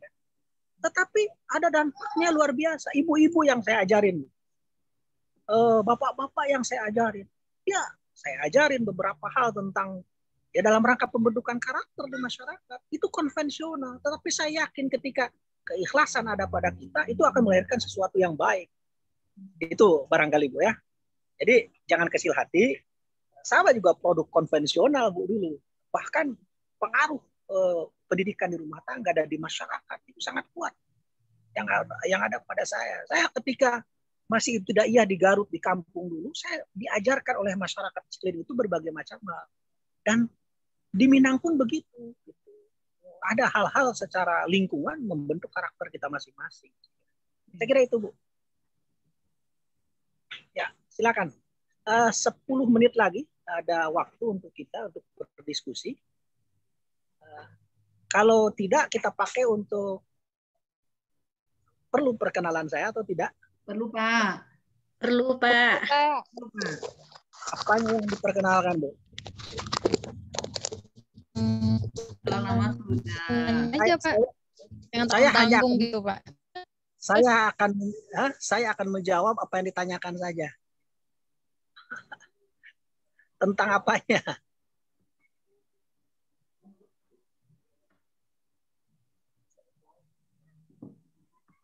Tentang usia saya. Tentang keluarga. Tentang apa? Basis pendidikannya, Pak. Pendidikan ya. Saya pendidikannya dari Madrasah Ibtidaiyah di Garut, Madrasah Sanawiyah di Garut, PGA Negeri di Garut. Kemudian belajar agama sama orang tua, sama sama Pak Tua, sama Ua, sama ya di lingkungan dan kemudian ada kiai juga yang mengajarkan saya berbagai macam hal. Kemudian saya masuk Sumatera Barat tahun 90, Bu. Saya bertugas ke Sumatera Barat atas nama pembina masyarakat di daerah pedalaman. Jadi di daerah jauh sekali, tapi kemudian dulu saya sedang kuliah di Bandung, di UIN Bandung, di IAIN Bandung dulu, cuman ketika itu tidak sampai karena keburu ke Sumatera Barat, pada akhirnya saya menjadi eh, bekerja di Sumatera Barat. Selanjutnya saya melanjutkan pendidikan, akhirnya pendidikan di di Sumatera Barat, tamat S1 di bidang pendidikan Islam, tamat S2, tetapi saya di bidang hukum bisnis, Bu, S2-nya. Hukum bisnis di Jakarta. Kemudian S3-nya saya masuk tahun 2008, tetapi berbagai macam kendala baru selesai belum lama ini. Itu pendidikan saya, Bu. Saya, istri saya orang Sumatera Barat, Bu. Kapak buruk tagade mahal istilahnya. Jadi saya, eh, istri saya orang orang orang kita, orang Sumatera Barat, orang Sumando istilah. Oh, Sumando. Ya? Ya. Sumando ya. Sumando. Mana Ibu artinya Pak? Hah? Ibu di, di Sumatera Baratnya di mana Pak? Di Nagari Pangkalan ya, Jalan ke Pekanbaru. Saya kumbuh tuh ya Pak ya, 50 kota. Ya. Dan lah punya ada kepenakan Pak Abdizal itu sudah lahir tiga orang ya. keponakannya Pak Apriza, keponakannya siapa tadi? Pak Ibrahim gitu kan. Saya kan orang Batang, orang Sumando kan. Ada tiga orang, ada tiga orang. Yang satu laki-laki, yang satu laki-laki keponakan Pak Aprizal itu, ya, itu sudah tamat S2 di UGM dan sekarang ngajar di Depok, Jakarta. Di Depok. Itu anak pertama. Jadi dosen di Depok. Yang kedua, laki-laki juga sedang belajar di Al-Azhar University di Kairo, Mesir. Nomor dua ya. Laki-laki. Kemudian yang ketiga, perempuan semester 2 di UIN Imam Bonjol Padang, jurusan Bahasa Arab. Istri saya, satu, orang Pangkalan, dan dia bertugas sebagai pendidik guru ya, guru di uh, kepala sekolah di SD yang ada di Kecamatan Harau, Sari Lama, Kabupaten Tanjung Pati ya. Barangkali. Berarti Umur Bapak saya, saya... Pati, Pak. Hah? Bapak eh, tinggalnya Pak, menetapnya Pak. saya menetap di Payakumbuh Bu, di Tanjung Pati. Baru Januari ini, karena sebelumnya saya pernah di Solok tahun di Kabupaten Solok. Nah, gitu.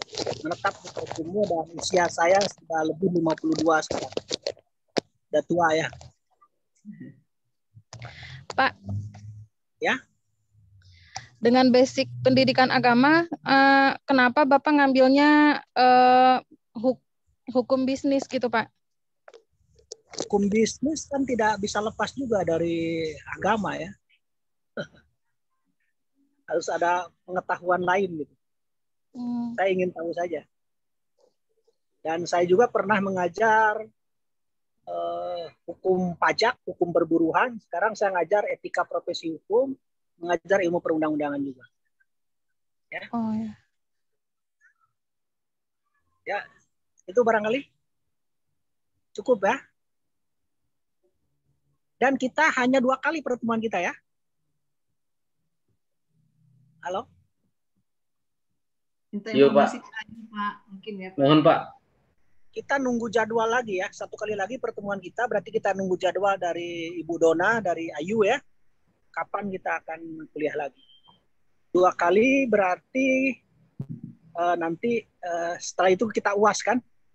Ujian akhir semua. Karena karena kita pun manajemen soft skill tentu ada tiga dosen yang akan memberikan nilai dan nanti diakumulasinya. Dan tentang nilai aman saja kalau dari saya kan, aman aja. Nggak usah. Tugasnya ringan aja nanti. Yang jadi yang menjadi uas bisa-bisa tugas tugas yang akan saya berikan nanti. Nanti tapi setelah um, setelah kita uh, ada sesi yang kedua nanti ya, sambungan dari ini. Barangkali itu dan saya mohon maaf yang sebesar-besarnya apabila ada hal yang kurang berkenan. Ada yang disampaikan lagi silakan. Cukup Pak, terima kasih. Ya, silakan yang lain. Kalau enggak kita tutup saja. Masih ada waktu lima menit lagi di jam saya. Korupsi lima menit apa boleh itu? Secara pendidikan karakter kan nggak boleh.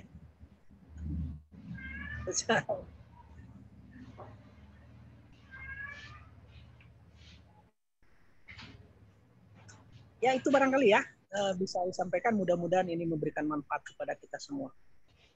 Ada dokumentasi tidak? Silakan. Absen kita sama Bu Ayu nanti uh, dicatatnya oleh oleh beliau ya. Oleh beliau.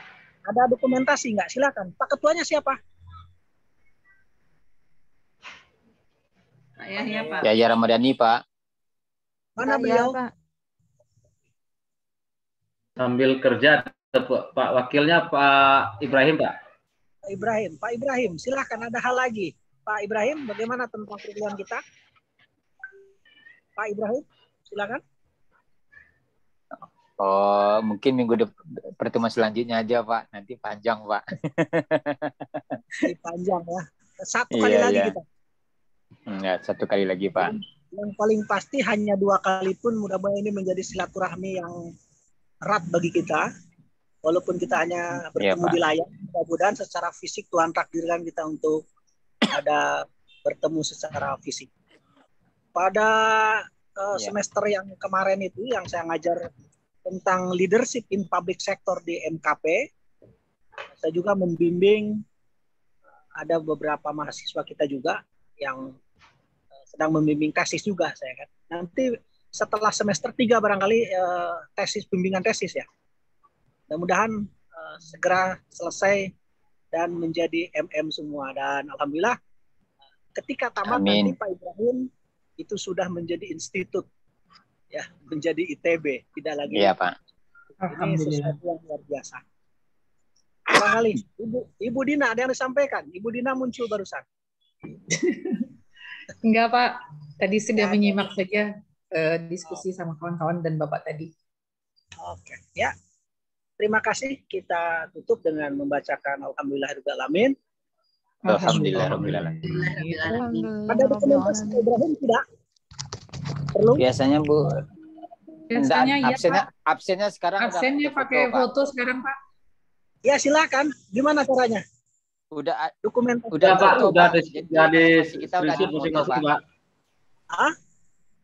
Masih Udah masih kita udah masing-masing, langsung, Pak. Oh gitu. Ada grup kita nggak? Nggak ada ya? Nggak perlu grup. Ada. Oke. Ya.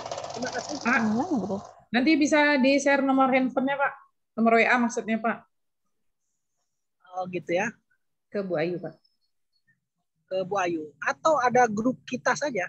Grup itu. Sebentar. Dibi- Kalau Nanti digabungkan, Pak. Oh, Bapak di grup soft skill, Pak. Oh ya silakan. Itu Bu Ayu tuh sudah. Ya makasih. Iya, Pak. Ya kita tutup membacakan Alhamdulillahirobbilalamin. Alhamdulillah. Satu. Terima kasih. Waalaikumsalam warahmatullahi wabarakatuh. Terima kasih banyak, Pak. Sama-sama, Pak. Terima kasih, Pak. Ibu Sama-sama, Dina, Pak. Ibu siapa lagi yang lupa. Kalau nggak bisa saya menyebutkan satu persatu. Demikian terima kasih.